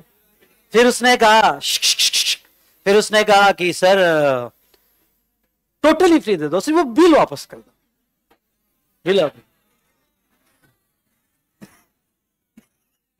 मैंने कहा। फिर अंदर से सोचा कि मैं कर भी क्या लूँगा अभी एकदम से एकदम से। ठीक है? तो पर कॉन्फिडेंस इतना कि मैं बहुत कुछ करूँगा। समझ में आया? तो फिर मैंने कहा फिर उसने बहुत रिक्वेस्ट किया "हाँ, ठीक है। नेक्स्ट टाइम से ऐसा नहीं करना किसी के साथ. और टोटल पूरा साल भर फ्री इन शॉर्ट ओके नहीं नहीं, मेरे पास है, मैं अगर डिपार्टमेंट में अब तो ऑनलाइन कंप्लेंट जाती है, कि तुम अगर बिलिंग ऑनलाइन कर दो, ठीक है, वो पोर्टल इतना अभी काम नहीं कर रहा है, पर अभी आगे ऑनलाइन कंप्लेंट पोर्टल जीएसटी का आएगा, कि तुम अगर कंप्लेंट करते हो तो उसके बेस पर चेक किया जा सकता है। आई होप यू अंडरस्टूड तो ऐसे केस में, इस एग्ज़ाम्पल से ये समझ लो वापस से मैं आपको कि थ्रेशोल्ड में पहले 20 लाख तक आई रिपीट पहले 20 लाख तक ना जीएसटी कलेक्ट होता है, ना जीएसटी पे होता है। ये समझा है नहीं समझा? ना पे होता है। गवर्नमेंट ने थ्रेशोल्ड दिया। लेकिन गवर्नमेंट आपको कह रही है कि 20 लैक्स के बाद आपको रजिस्ट्रेशन करना कंपलसरी है। और वो सेक्शन 22 में कहती है। सेक्शन 22 कहता है कि as soon as your turnover exceeds threshold of 20 lakhs in some cases 10 lakhs in some cases 40 lakhs समझ में you need to register yourself within thirty days within क्या? थर्टी डेज़ तीस दिन के अंदर R E G zero one file करो और अपनी आरसी लो। अपनी आरसी लो। फॉर्म कौन सा? आर ई ज़ीरो मैं रिपीटेशन कर रहा हूँ इनिशियल स्टेज पे, पर फिर से कह रहा हूँ। मैं इतनी मेहनत इनिशियल स्टेज पे इसलिए लगा रहा हूँ कि आगे ये कॉन्सेप्ट देखते ही समझ में आए और हमारी स्पीड बढ़े। अरे yes sir no now person who is registered तो लॉ क्या कहता है? आप जीएसटी पे कब करोगे सप्लाई पे? जब आप टैक्सेबल पर्सन हो जाओगे। आप टैक्सेबल पर्सन कब होगे? जब आप रजिस्ट्रेशन ले लोगे। या या लाइबल टू रजिस्टर अब आपने रजिस्ट्रेशन आप ऑनेस्ट बंदे हो। जैसे ही बीस लाख क्रॉस कर लिया रजिस्ट्रेशन ले लिया। जैसे ही क्या? बीस लाख क्रॉस कर दिया आपने रजिस्ट्रेशन ले लिया। डन तो ठीक है ना, आप रजिस्टर पर्सन या फिर आपने वॉलेंट्री रजिस्ट्रेशन लिया होगा। कमन कमन आपने क्या वॉलेंट्री रजिस्ट्रेशन क्या बीस लाख के पहले वॉलेंट्री रजिस्ट्रेशन ले सकते if you are registered may be on threshold और may be voluntarily may be क्या? वॉलेंट्रीली आपने वॉलेंट्री रजिस्ट्रेशन ले लिया होगा तो भी आप टैक्सेबल पर्सन बन गए। और जिस दिन आपने रजिस्ट्रेशन लिया, आप बन गए टीपी क्या बोला मैंने? टीपी और टीपी तो उसके बाद जो भी इंट्रास्टेट इंटरस्टेट सप्लाई करोगे, उसके ऊपर क्या आएगा? जीएसटी एक एक रुपए पे टैक्स देना पड़ेगा वंस यू बिकम रजिस्टर्ड समझ में आया? इवन द वॉलेंट्री रजिस्ट्रेशन फिर से एक बार एग्ज़ाम्पल देता हूँ, आपको याद नहीं होगा तो। मेरे पास बंदा आया, पाँच लाख का टर्न है, बजाज ऑटो का ऑर्डर आया उसके पास। अरे है ना। वो बजाज ऑटो वाला टैक्स इनवॉइस मांग रहा है। तो टैक्स इनवॉइस मांग रहा है तो इसको क्या है कि इसको ये उसने मेरे को पूछा कि क्या थ्रेशोल्ड छोड़ दूँ? मैंने कहा, छोड़ दे। कस्टमर को छोड़ मत। बजाज ऑटो बड़ा नाम है। अरे है ना। तो उसने एग्जामिशन उसने रजिस्ट्रेशन करवा लिया। रजिस्ट्रेशन करवाते वो बन गया। Taxable person even though 20 lakh का थ्रेशोल्ड है, पर इसने खुद होके छोड़ दिया भाई। खुद होके छोड़ दिया। रजिस्ट्रेशन करवा लिया। रजिस्ट्रेशन करवाती वो बन गया टीपी टीपी बनने के बाद बस अब अब जो भी वो सप्लाई करेगा, उसके ऊपर जीएसटी आएगा। समझ में आया क्या? टैक्स देना एग्जांपल याद आ रहा है? Bajaj auto customer okay tax देना पड़ेगा। अब ये सेकंड वाले पार्ट पे आता हूँ। Liable to registered liable to registered का मतलब बहुत सारे लोग इंडिया में ऐसे हैं कि जिन्होंने 20 लाख का थ्रेशोल्ड क्रॉस कर दिया है, पर अभी भी रजिस्टर्ड नहीं है। अभी भी रजिस्टर्ड नहीं है। बहुत लोग मिल जाएँगे आपको। तो गवर्नमेंट कहती है कि, चल तू रजिस्टर्ड नहीं होगा। जैसे तू लायबल हो जाएगा। कब लायबल होगा जब तू थ्रेशोल्ड क्रॉस करेगा? कब लायबल होगा जब तू थ्रेशोल्ड क्रॉस करेगा? या फिर 24 में कुछ केस में कंपलसरी रजिस्ट्रेशन है। मतलब कर, रजिस्ट्रेशन करने ही पड़ते 24 मतलब कंपलसरी रजिस्ट्रेशन करने ही पड़ते इरिस्पेक्टिव ऑफ़ थ्रेशोल्ड ऐसी सेवन केसेस है कि आपका थ्रेशोल्ड 20 के नीचे होगा तो भी गवर्नमेंट कंपलसरी रजिस्ट्रेशन करवाती है। समझ में आया क्या? तो आप 22 में थ्रेशोल्ड क्रॉस करने के बाद लायबल हो गए। 24 में कंपलसरी लायबल हो गए।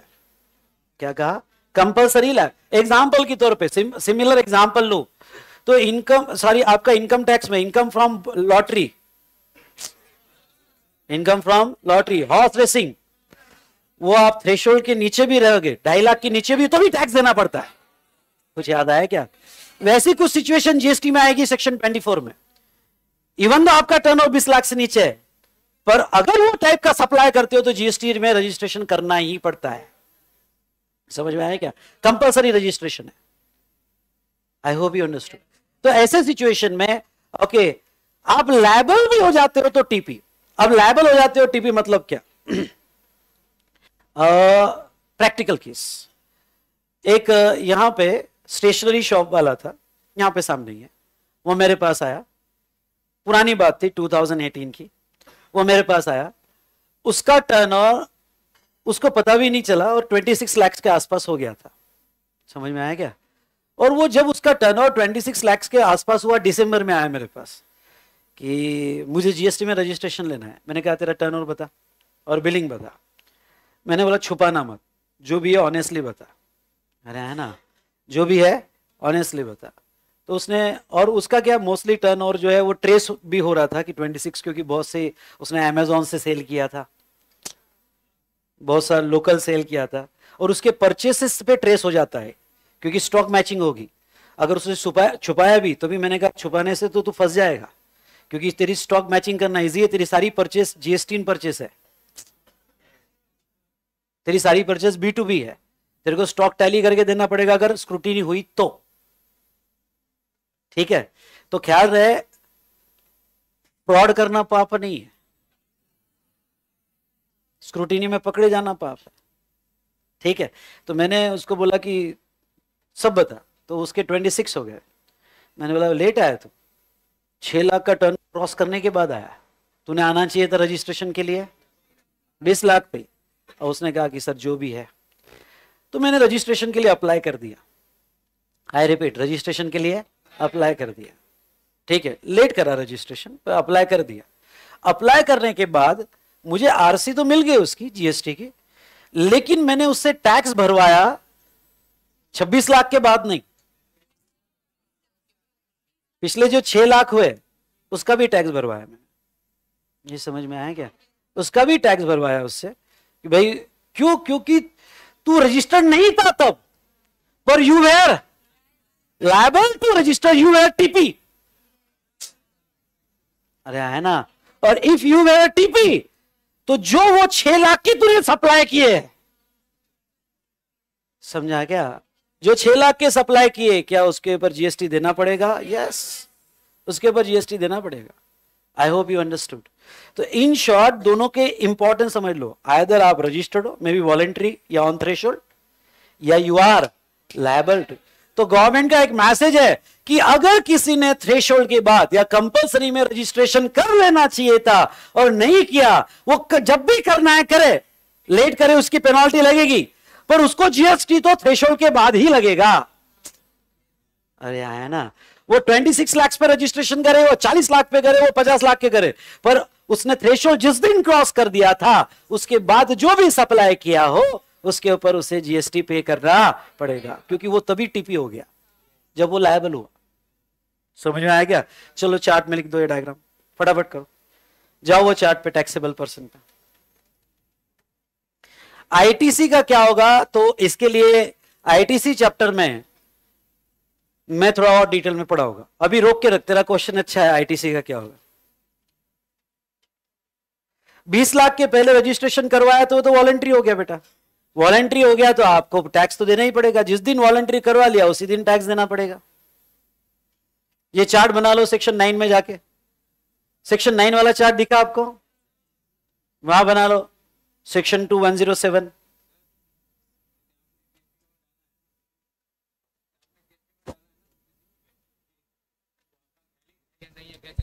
portal पे चेक करते आप।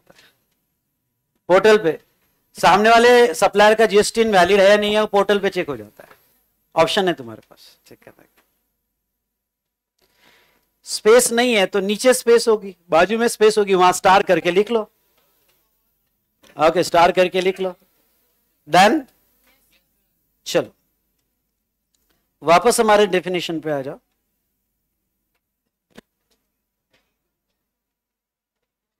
उसके बाद में रजिस्टर्ड पर्सन ये बताओ बेटा रजिस्टर्ड पर्सन किसको बोलेंगे? Simple definition registered person means a person who is registered under section 25 ठीक है? बट हाँ ये हाईलाइट करना। But does not include a person having क्या? यूनिक आइडेंटिटी नंबर क्या कहा जाएगा? यू आई एन इसका मीनिंग मैं बाद में बताऊँगा। अभी सिर्फ़ लर्न करो। रजिस्टर्ड पर्सन में वो पर्सन नहीं आएँगे, जिसका क्या है? यू आई एन इसका मीनिंग बाद में बताऊँगा। ठीक है? उसके बाद में सप्लायर सप्लायर ये सप्लायर की डेफिनेशन जो है, ये दो पार्ट में है. पहला नॉर्मल डेफिनेशन और दूसरा स्पेशल प्रोविजो ये स्पेशल प्रोविजो अभी फाइनेंस एक्ट 2023 में इंट्रोड्यूस की गई specially for gaming online gaming industry and online gambling समझ में आया क्या? अभी रुक जाना। मैं पूरी हिस्ट्री पढ़ाऊँगा गैमलिंग का क्या हुआ पिछले छह महीने में? और अभी लोग क्यों परेशान है? उसकी हिस्ट्री आगे आएगी। ओके तो तो मैं आपको थोड़ा अच्छे से पढ़ाऊँगा। अभी सिर्फ़ इतना समझ लो। मैं, क्योंकि इसके लिए एक डेफिनेशन इंपॉर्टेंट है एक्शनेबल क्लेम उस एक्शनेबल क्लेम पे एक बहुत बड़ी केस लॉ हुई थी। ओके और वो केस लॉ भी बताऊँगा। उस केस में क्या डिसीज़न हुआ है? फिर गवर्नमेंट ने क्या चेंज किया? ऑनलाइन इंडस्ट्री कैसे अफेक्ट हुई? ये समझ में आया क्या? तो ये सब बाद में बताऊँगा। पहले तो पहला वाला पार्ट जो नॉर्मल डेफिनेशन है चलो ये डेफिनेशन बाद में पढ़ेंगे। आपका जनरल नॉलेज क्या कहता है? Who should be supplier who should be supplier जो गुड्स का सप्लाई कर रहा है। ओके okay, जैसा who should be a taxable person तो वो बोलता है जो टैक्स दे रहा है है ना? जो टैक्स दे रहा है। ठीक है? Supplier in relation to any goods और services both shall means a person supplied the said goods और सर्विसेज़ ओके जो गुड्स का सप्लाई कर रहा है या सर्विस का सप्लाई अंडरलाइन दैट वर्ड और इसको अंडरलाइन करना शैल इंक्लूड द एजेंट उसको अंडरलाइन करना।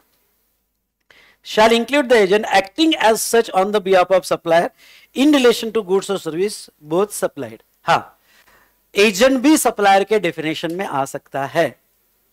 सप्लायर ने जो एक्चुअल खुद सप्लाई कर रहा, या फिर वो एजेंट के थ्रू सप्लाई कर रहा होगा तो एजेंट भी सप्लायर माना जाएगा। Is it clear generally consignment agents कुछ याद आया क्या आपको? कंसाइनमेंट एजेंट्स ठीक है। प्रोविजो इंसर्टेड मैं रीड करूँगा, पर कुछ भी समझ में नहीं आएगा। ये वाला पार्ट डिटेल हिस्ट्री के साथ हम बाद में लेंगे।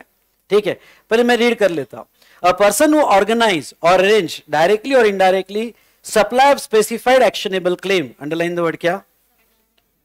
Actionable claim including a person who own, operate, manage digital or electronic platform for such supply and shall be deemed to be a supplier of actionable claims whether such actionable claims are supplied by him or through him and whether consideration in money or money worth including virtual digital asset लिख दो virtual digital asset का अभी meaning लिख दो bitcoin example bitcoin bitcoin समझ में आता है virtual digital asset for supply of such actionable claims is paid or conveyed to him or through him or placed at his disposal in any manner and all provision of this act shall apply to the supplier of specified actionable claim as if he is the supplier liable to pay tax in relation to supply of such actionable claim sir सच कहे तो underline के अलावा कुछ नहीं समझा जब मैंने समझाया नहीं तो क्या समझेगा इसको देखेंगे बाद में ठीक है स्पेसिफाइड एक्शनेबल क्लेम इसको भी मैं बाद में पढ़ाऊँगा। Means actionable claim involve in way of betting casino हाँ betting casino gambling horse racing lottery online money gaming okay ये स्पेसिफाइड एक्शनेबल क्लेम डिफाइंड हुए हैं। Online gaming means offering a game on internet और electronic network underline internet और electronic network and includes online money gaming ठीक है। और online money gaming नीचे define किया है। ये सारी डेफिनेशन कनेक्टेड है। क्यों? क्योंकि सप्लायर के डेफिनेशन में ऑनलाइन गेमिंग कवर किया है। अरे समझ में आया क्या? उसमें उससे कनेक्टेड एक्शनेबल क्लेम है। उससे कनेक्टेड मनी गेमिंग है। और उससे कनेक्टेड ऑनलाइन मनी गेमिंग है। और वर्चुअल डिजिटल असेट ओके तो उसका इनकम टैक्स में जो मीनिंग दिया गया है वर्चुअल डिजिटल असेट का, वही सेम मीनिंग यहाँ लिया जाएगा। ये सारी डेफिनेशन एक चार्ट में हम कवर करें हिस्ट्री के बाद, ठीक है? अभी रुक जाना। अब आ जाओ मेन इंपॉर्टेंट डेफिनेशन रेसिपियन आ जाओ मेन इंपॉर्टेंट डेफिनेशन रेसिपियन ठीक है? सर ये डेफिनेशन रेसिपियन का क्यों इंपॉर्टेंट है? ये डेफिनेशन क्यों इंपॉर्टेंट है? क्यों? क्योंकि यहाँ पे सप्लायर और रेसिपियन कुछ केसेस में गवर्नमेंट जो टैक्स लेता है, वो सप्लायर से नहीं, किससे लेता है? रेसिपियंट से। बताओ कौन सी केस है? आरसीएम। आरसीएम मतलब रिवर्स चार्ज। कुछ याद आया क्या? आ, कुछ केसेस ऐसी होगी जो रिवर्स चार्ज की केसेस होगी जिसपे टैक्स जो है गवर्नमेंट सप्लायर से नहीं लेता है रिसिपियंट से। इसलिए ये डेफिनेशन बहुत क्या इंपॉर्टेंट है। ओके okay, एग्ज़ाम के लिए भी ज़रूरी है। Recipient of supply of goods और सर्विस रिसिपियंट किसको बोला जाएगा? Means where a consideration is payable for the supply of goods और सर्विसेज़ और both okay underline consideration is payable इसको ऐसा राउंड करना सप्लाई ऑफ़ गुड्स और सर्विसेज़ और both the person who is liable to pay that consideration और दूसरा where no consideration is payable ये नो कंसिडरेशन को हाईलाइट करो where no consideration is payable for supply of goods the person to whom goods are delivered और made or to whom possession or use of goods is given or made available. And C, no consideration is payable for supply of service. ऊपर supply of goods के लिए था ये supply of service के लिए था okay the person to whom the service is rendered any reference to a person to whom supply is made shall be constituted as a reference to the recipient of supply and ये highlight करो shall includes agent acting as an, acting as such on the behalf of recipient in relation to goods or services or both supplied चलिए, अब मैं एक चीज़ आपको समझाऊँगा, जिसने ये कैच कर ली, वो सारे सब्जेक्ट के चार्ट्स बना सकता है और चार्ट सिस्टम में पढ़ सकता है। Chart system is very helpful to retain the concept अब जब मैं सेक्शन नाइन वन कहता हूँ तो आपको टेक्स्ट से ज़्यादा ऐसे तीन पार्ट याद आते हैं। कुछ याद आया कि नहीं? क्या levy collection? Person liable to pay tax अब person liable to pay tax के नीचे एक मैंने पंच मार दिया है, क्या? टैक्सेबल पर्सन वो भी याद आ जाएगा। ये सर नो टैक्स से ज़्यादा वो याद आ जाएगा चार्ट बनाना सिखाता हूँ। देखो, सच में आप बहुत अच्छे से चार्ट बनाना चाहते हो तो रीड करो। सभी मन में रीड करो। एक मिनट में, मैं बताता हूँ।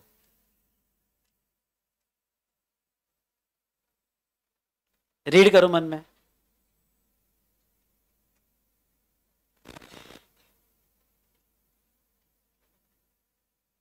सभी रीड करो।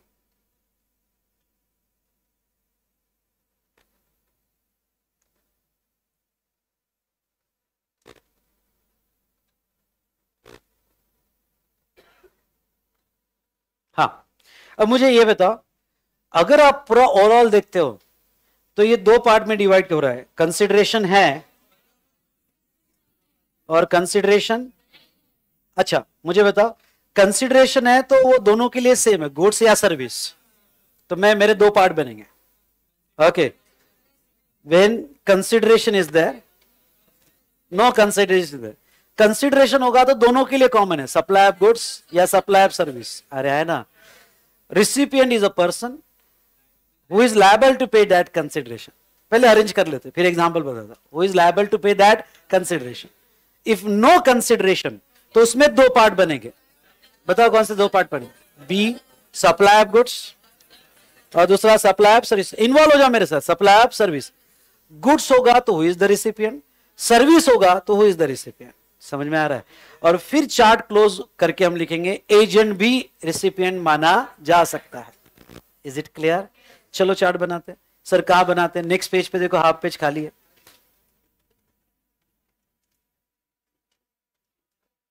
मिला गया आपको नेक्स्ट पेज पे हाफ़ पेज खाली?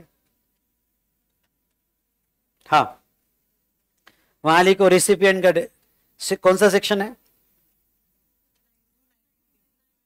सेक्शन सर इतना याद रखे क्या कोई ज़रूरत नहीं है। हाँ आपको याद रखना है तो twenty five four five twenty five four twenty five five कुछ याद आया क्या? वो लर्न करना। लिखो recipient recipient make two parts बनाओ।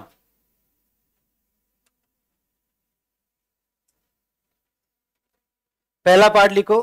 सप्लाई इन्वॉल्व कंसिडरेशन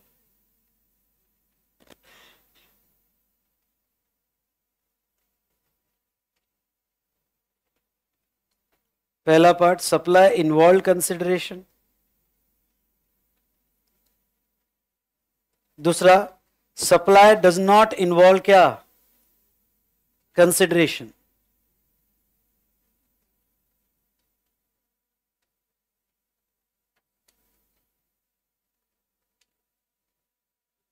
ठीक है?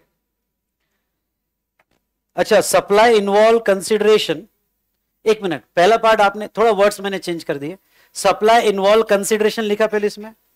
उसको कंटिन्यू करना। फॉर गुड्स और services supply involve consideration for goods और सर्विसेज़ ऐसा पूरा करना।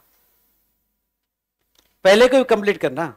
Supply involve consideration for goods और सर्विसेस तो डाउनवर्ड एरो करो।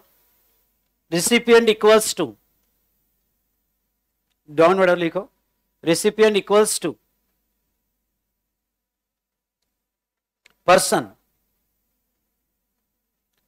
person who is liable to pay that consideration person who is liable to pay that consideration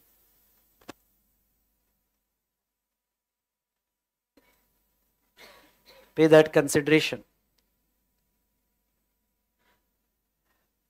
अब मैंने जो सप्लाई किया है उसमें कंसिडरेशन है देखना चाहता हूँ पूरे क्लास में कितनी किसकी अवेयरनेस यहाँ पे आगे बढ़ी है? मुझे कोई भी एक एग्जांपल बताओ जहाँ सप्लाई तो है पर कंसिडरेशन नहीं।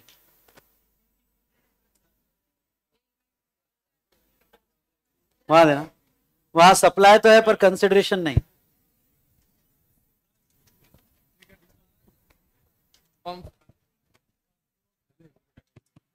Transfer from factory to warehouse stock transfer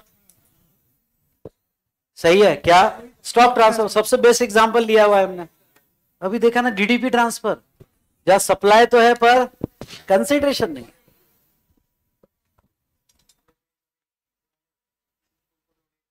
हाँ वो अब देखेंगे बाद में। ओके पर अभी तो हमने जो देखा, वो किसका देखा? स्टॉक ट्रांसफ़र स्टॉक ट्रांसफ़र का देखा है। तो वो भी आता है, जहाँ कंसिडरेशन नहीं है। तो देखो, जहाँ कंसिडरेशन है, वो केस में रिसिपियंट कौन? ये क्लास में दो लोग ऐसे बैठे हैं जो सीए के स्टूडेंट्स नहीं है। कंपनी में वो एज अ जीएसटी कंपनी के जीएसटी ऑफ़िस में ज्वाइन हुए हैं जीएसटी डिपार्टमेंट में ज्वाइन हुए हैं, कंपनी के। वो यहाँ ट्रेनिंग करने आए हुए हैं। वो सीए सीएमए सीएस के स्टूडेंट नहीं है।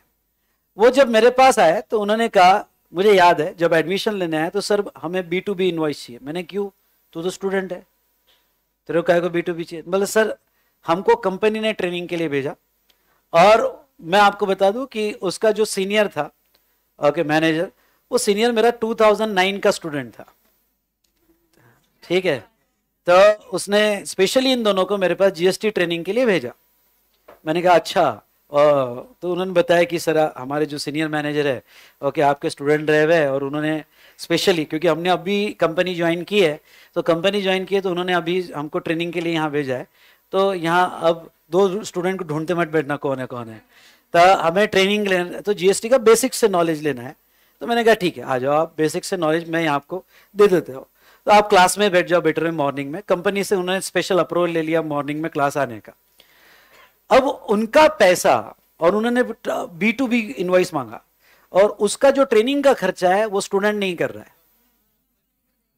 कौन कर रही है? कंपनी कर रही है। अब मुझे ये बताओ कि मेरा रिसिपियंट कौन फॉर दैट टू स्टूडेंट्स जो मेरे क्लास में अभी बैठा है और मेरी सर्विस ले रहा है। या फिर a person is liable to pay that consideration wording ऐसा नहीं कि person is taking the goods taking the service हाँ वर्ड है।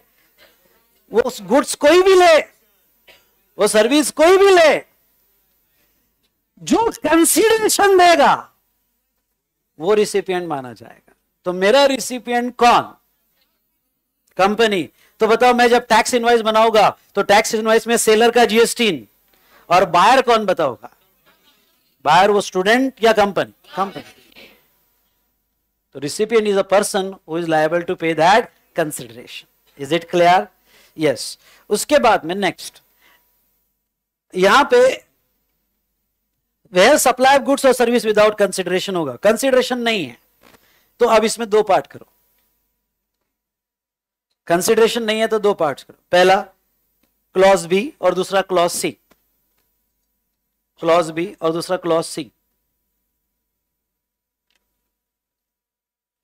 क्लॉज बी में सप्लाई ऑफ़ गुड्स और क्लॉज सी में supply of services supply of goods और supply of services लिख लो. Recipient equals to a person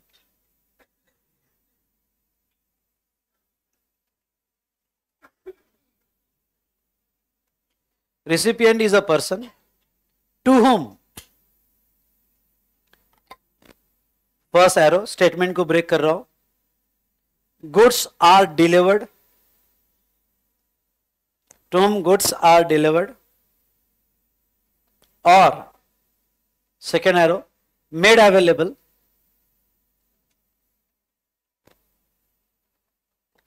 goods are delivered or made available or possession or use of the goods is given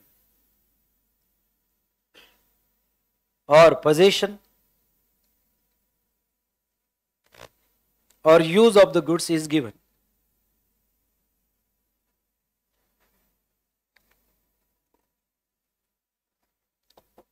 then और second supply of services इसके आगे मैं हमारे discussion में short form use करूँगा SOG मतलब supply of goods और SOS मतलब? ठीक है, ये शॉर्ट फॉर्म यूज़ करूँगा। SOG SOS recipient equals to person to whom service is rendered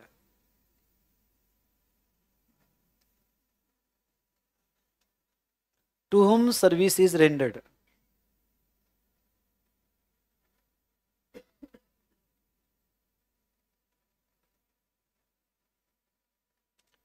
हाँ। अगर कंसिडरेशन नहीं है तो फिर वो बहुत ही लेमन लैंग्वेज में कहते हैं। कंसिडरेशन नहीं है नहीं है सर कंसिडरेशन पर सप्लाई है। अगर सप्लाई और कंसिडरेशन नहीं है तो वो केस में रिसिपिएंट वो जिसको गुड्स डिलीवर्ड किया। समझ में आया? रिसिपिएंट वो जिसको गुड्स डिलीवर एक मिनट रिसिपिएंट वो जिसने कंसिडरेशन दिया कंसिडरेशन तो नहीं है तो जिसको गुड्स क्या? डिलीवर्ड किया और मेड अवेलेबल करवा दिया और जिसको पोजेशन दिया। जितने वर्ड्स मिलते थे डाल दिए। जिसको डिलीवर्ड किया, या मेड अवेलेबल करवाया, या पोजीशन दिया। चलो मेड अवेलेबल का आपको मेड अवेलेबल या पोजीशन का एक एग्जांपल लेता हूँ। नीचे जो है, यहाँ पे वी स्मार्ट के दो हॉल थे। पूरा सेटअप लगा हुआ था। और तब ओके यहाँ पे छोटे छोटे दो हॉल लेके रखे थे। वो हॉल जो था, वो स्पेशली उन स्टूडेंट्स के लिए था कि जिनको यहाँ पे एक तरह की वीडियो लाइब्रेरी थी। कि जो स्टूडेंट को यहाँ बैठ के देखना है, वो उस हॉल का फैसिलिटी यूज़ कर सकता है। ठीक है? तो लेक्चर्स वगैरह देखना हो तो या पेंडिंग लेक्चर्स देखना हो तो। तो अब ऐसे केस में हमने वो पूरा सेटअप था। कोविड आ गया। कोविड आ गया तो अब उसकी ज़रूरत ही नहीं पड़ रही। खाली था। मैंने रेंट पे लिया हुआ था। तो फिर मैंने ओनर को कह दिया कि मैं रेंट पे छोड़ने वाला हूँ। तो जो रेंट पे लिया है तो उसने ओनर ने कहा, ठीक है, छोड़ दो आप। तब तक क्या होगा? कोविड निकल गया। और एक कोई दूसरा क्लास वाला रेडी हो गया उसका हॉल लेने के लिए। तो जो ओनर था उसने कहा, ठीक है, तू ले लो। अब उसको दिखा कि पूरा सेटअप है बेंचेस है प्रोजेक्टर है लाइट्स है, पूरा रेडी सेटअप है। और सारे गुड्स मूवेबल है। मूवेबल मतलब शिफ्ट हो सकते हैं शिफ्ट हो सकते हैं। तो उसने देखा तो उसने ओनर को पूछा कि ये किसके है? तो ओनर ने कहा, ये वी स्मार्ट के है। तो उसने कहा, मुझे खरीदने हैं। तो ओनर ने कहा डायरेक्ट वी स्मार्ट से बात कर ले। वो मुझसे मिलने आया। मुझसे मिलने आया तो उसने कहा कि, सर, आप वो बेंचेस वगैरह कहाँ शिफ्ट करते हो? दे दो मुझे। जो भी पूरा सेटअप है, मैं लेने को रेडी हूँ। मैंने कहा, ठीक है डन प्राइस फिक्स हुई।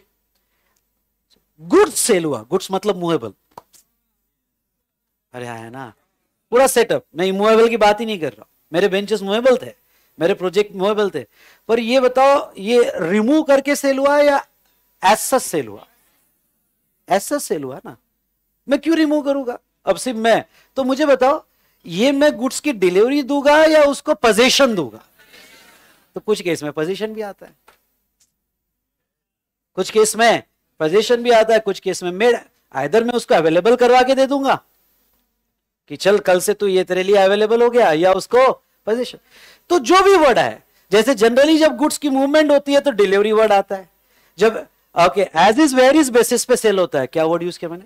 एज इज़ वेरियस बेसिस पे सेल होता है तो पोजीशन या मेड अवेलेबल आता है।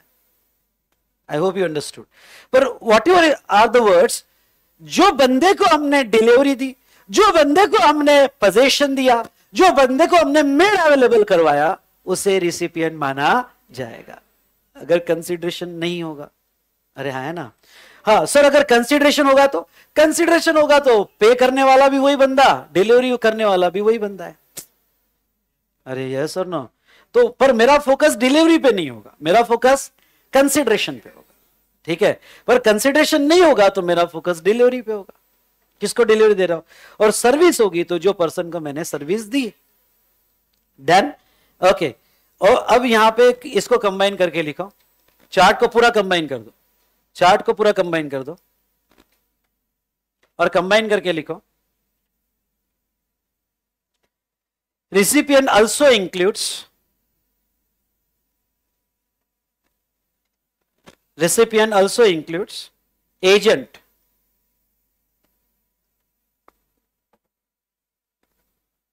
agent acting on the behalf of recipient agent acting on the behalf of क्या recipient.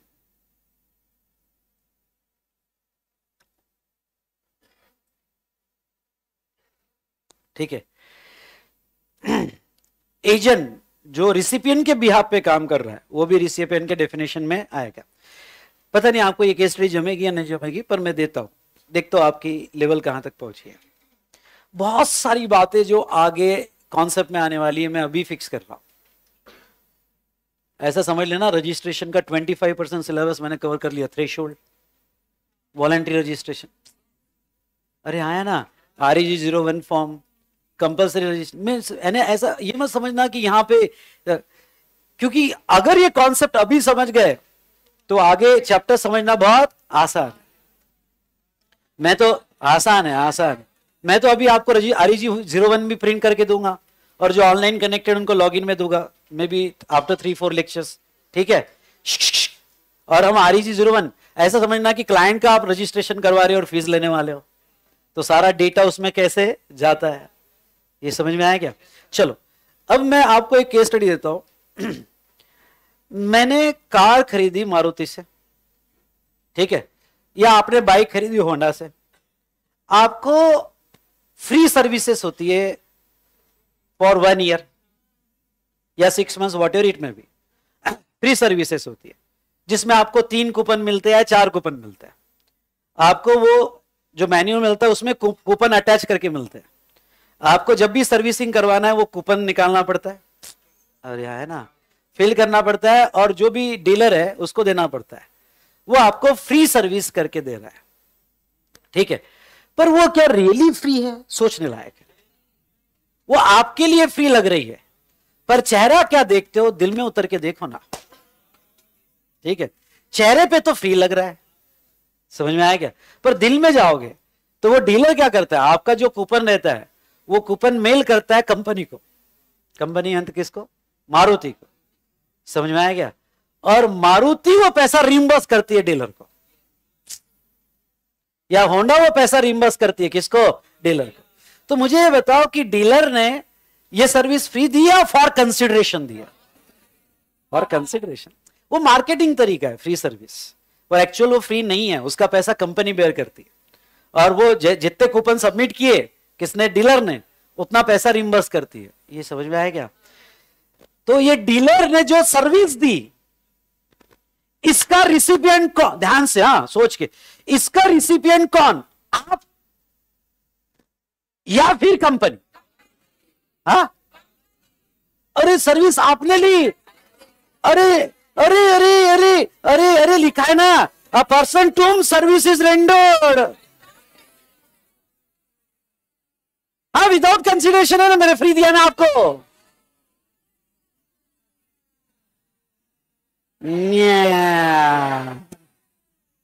ये रियल फ्री है कि चार्जेबल सर्विस है? चार्जेबल और इसका कंसिडरेशन आप नहीं दे रहे हो? तो ये ट्रांजेक्शन पहले पार्ट में जाए दूसरे पार्ट में? पहले पार्ट में जाए अरे है ना, पहले पार्ट में क्योंकि consideration is there and consideration is there तो who is the recipient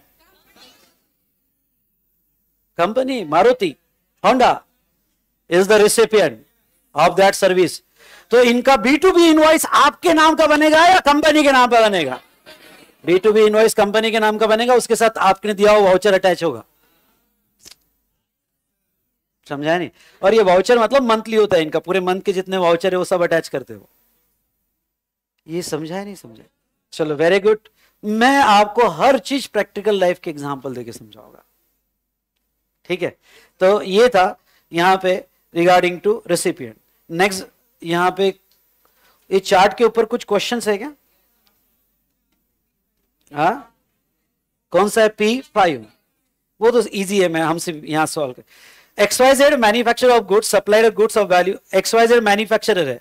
और सप्लाई किया twenty lakhs to mister B who is the supplier in this given case XYZ a person is supplying the goods अरे yes और no तो ये homework भी करने की ज़रूरत नहीं है। यहीं लिख दो। एक्सवाइजेड सप्लायर रहेगा। डन हाँ mister A from Nagpur is a consignment agent of Coca-Cola Limited. He undertakes the supply of Coca-Cola beverage on the behalf of Coca-Cola Limited. Accordingly, Mr. A supplied goods worth rupees 20 lakh to Mr. C on the behalf of Coca-Cola Limited. Who is the supplier of transaction or GST?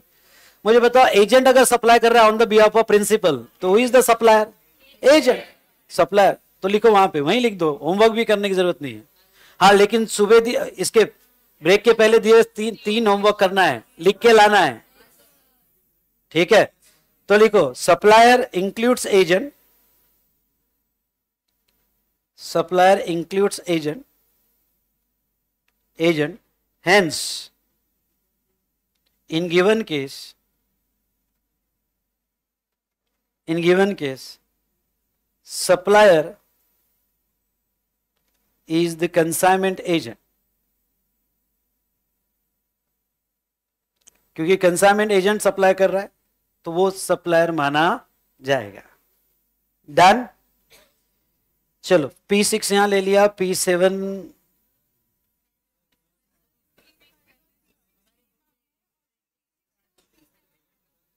अच्छा मेरे इसमें गड़बड़ हो गई क्या?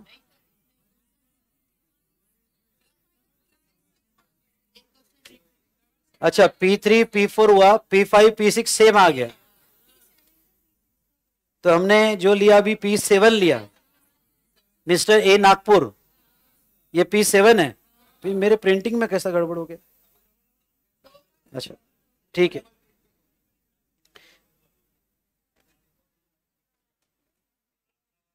नहीं नहीं नहीं नहीं नहीं। हाँ। अच्छा। हाँ। तो इसमें कुछ नंबरिंग गड़बड़ हो गई। पी फाइव पी सिक्स एक ही है भाई। ठीक है? उसके बाद में पी सेवन हमारा हो गया। यस और नो अब आ जाए पी एट पे। चलो। V smart academy has given training in GST to mister Akash who is an article in C एक मिनट एक मिनट। आकाश को ट्रेनिंग दिया जो article in C firm ABN associate the invoice for this service is the in the name of ABN associate who is paid the consideration for the same who is the recipient in given case लिख के देखना है? लिखो, चलो। चलो लिखो। नालायक नहीं। ठीक है। राइट डाउन ठीक है। हाँ नहीं तो क्या सर पे लिखेंगे मेरे? वो दो खींच के नोटबुक में, नहीं तो क्या सर पे लिखेगा? ठीक है। चल, यहाँ पे down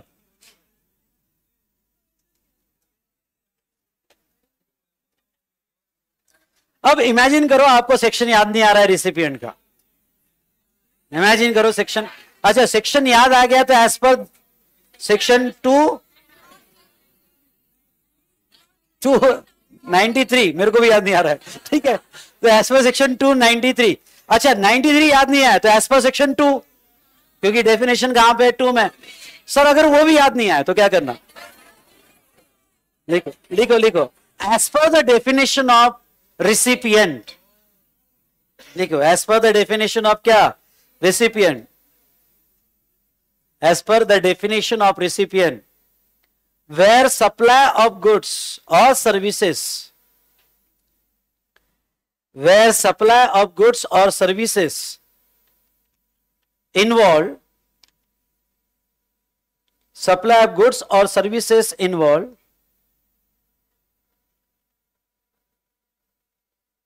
involved consideration supply of goods or services involve consideration. Then then recipient is a person. Then recipient is a person.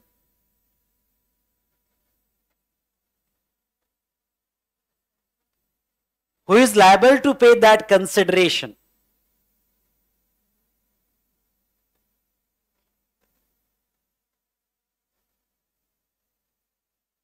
who is liable to pay that consideration.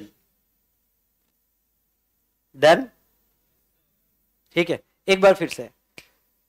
Section sub section याद ठीक, नहीं तो section two वो भी नहीं याद as per definition sir अगर definition नहीं याद आई तो छोड़ देना। डायरेक्ट आंसर सर अगर आंसर ही नहीं जमा तो छोड़ ही दो। ठीक है। So para change in given case in given case even though training is given to Mr. Akash, in given case, even though training is given to Mr. Akash, Akash, but the consideration is paid by AB and associate.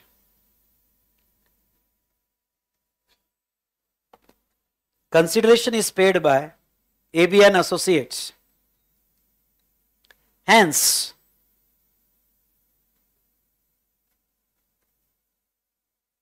recipient is, कौन रहेगा? ABN associates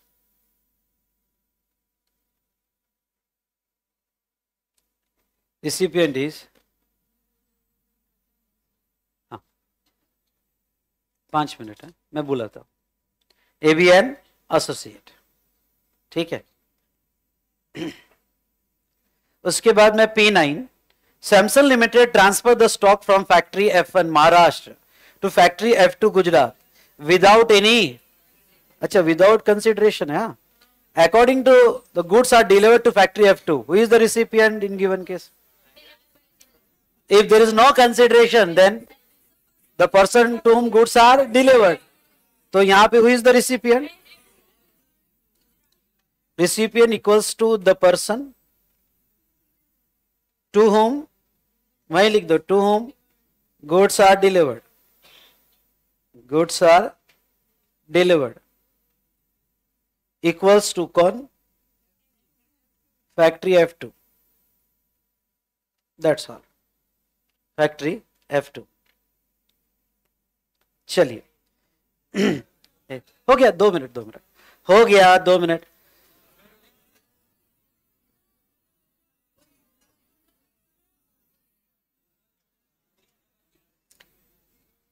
बच्चों recipient equals to the person to whom the goods are delivered.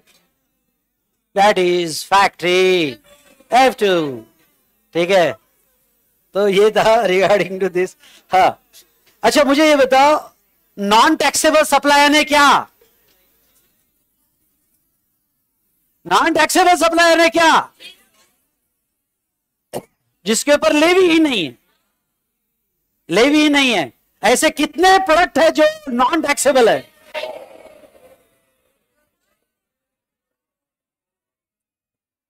Alcohol. Petroleum product अरे है ना। ये छह product को non taxable तो देखो वो क्या कहते हैं?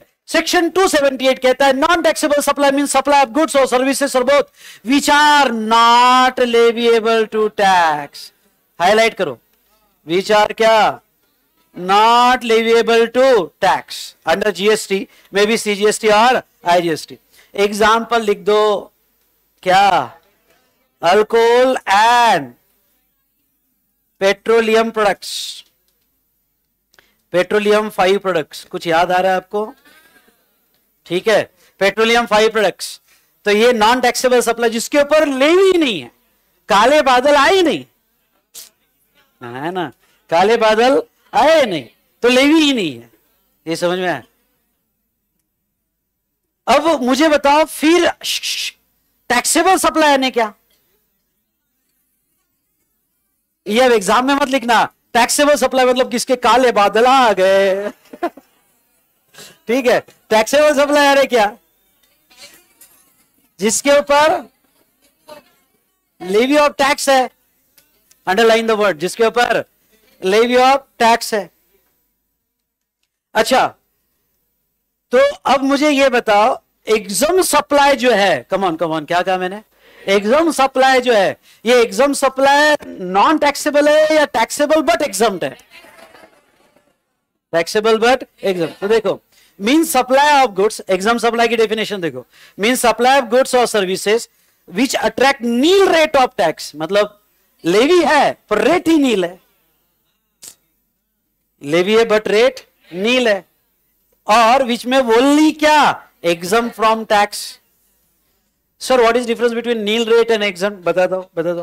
Okay exempt from tax and includes not sir ये ये कंफ्यूज कर रहा है।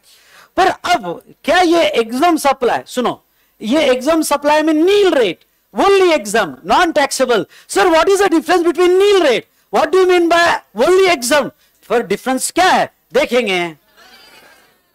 पर दो मिनट रुको, दो मिनट रुको, दो मिनट रुको। बोला उनको, दो just two minutes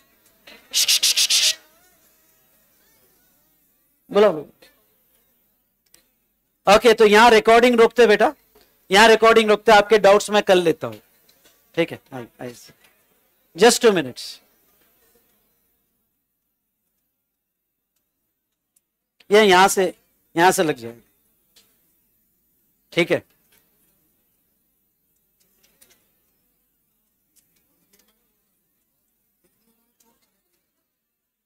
H D M लगा लेना रख दे, रख दो। बंद करना। बेटा, यहाँ रिकॉर्डिंग बंद करेंगे। ठीक है?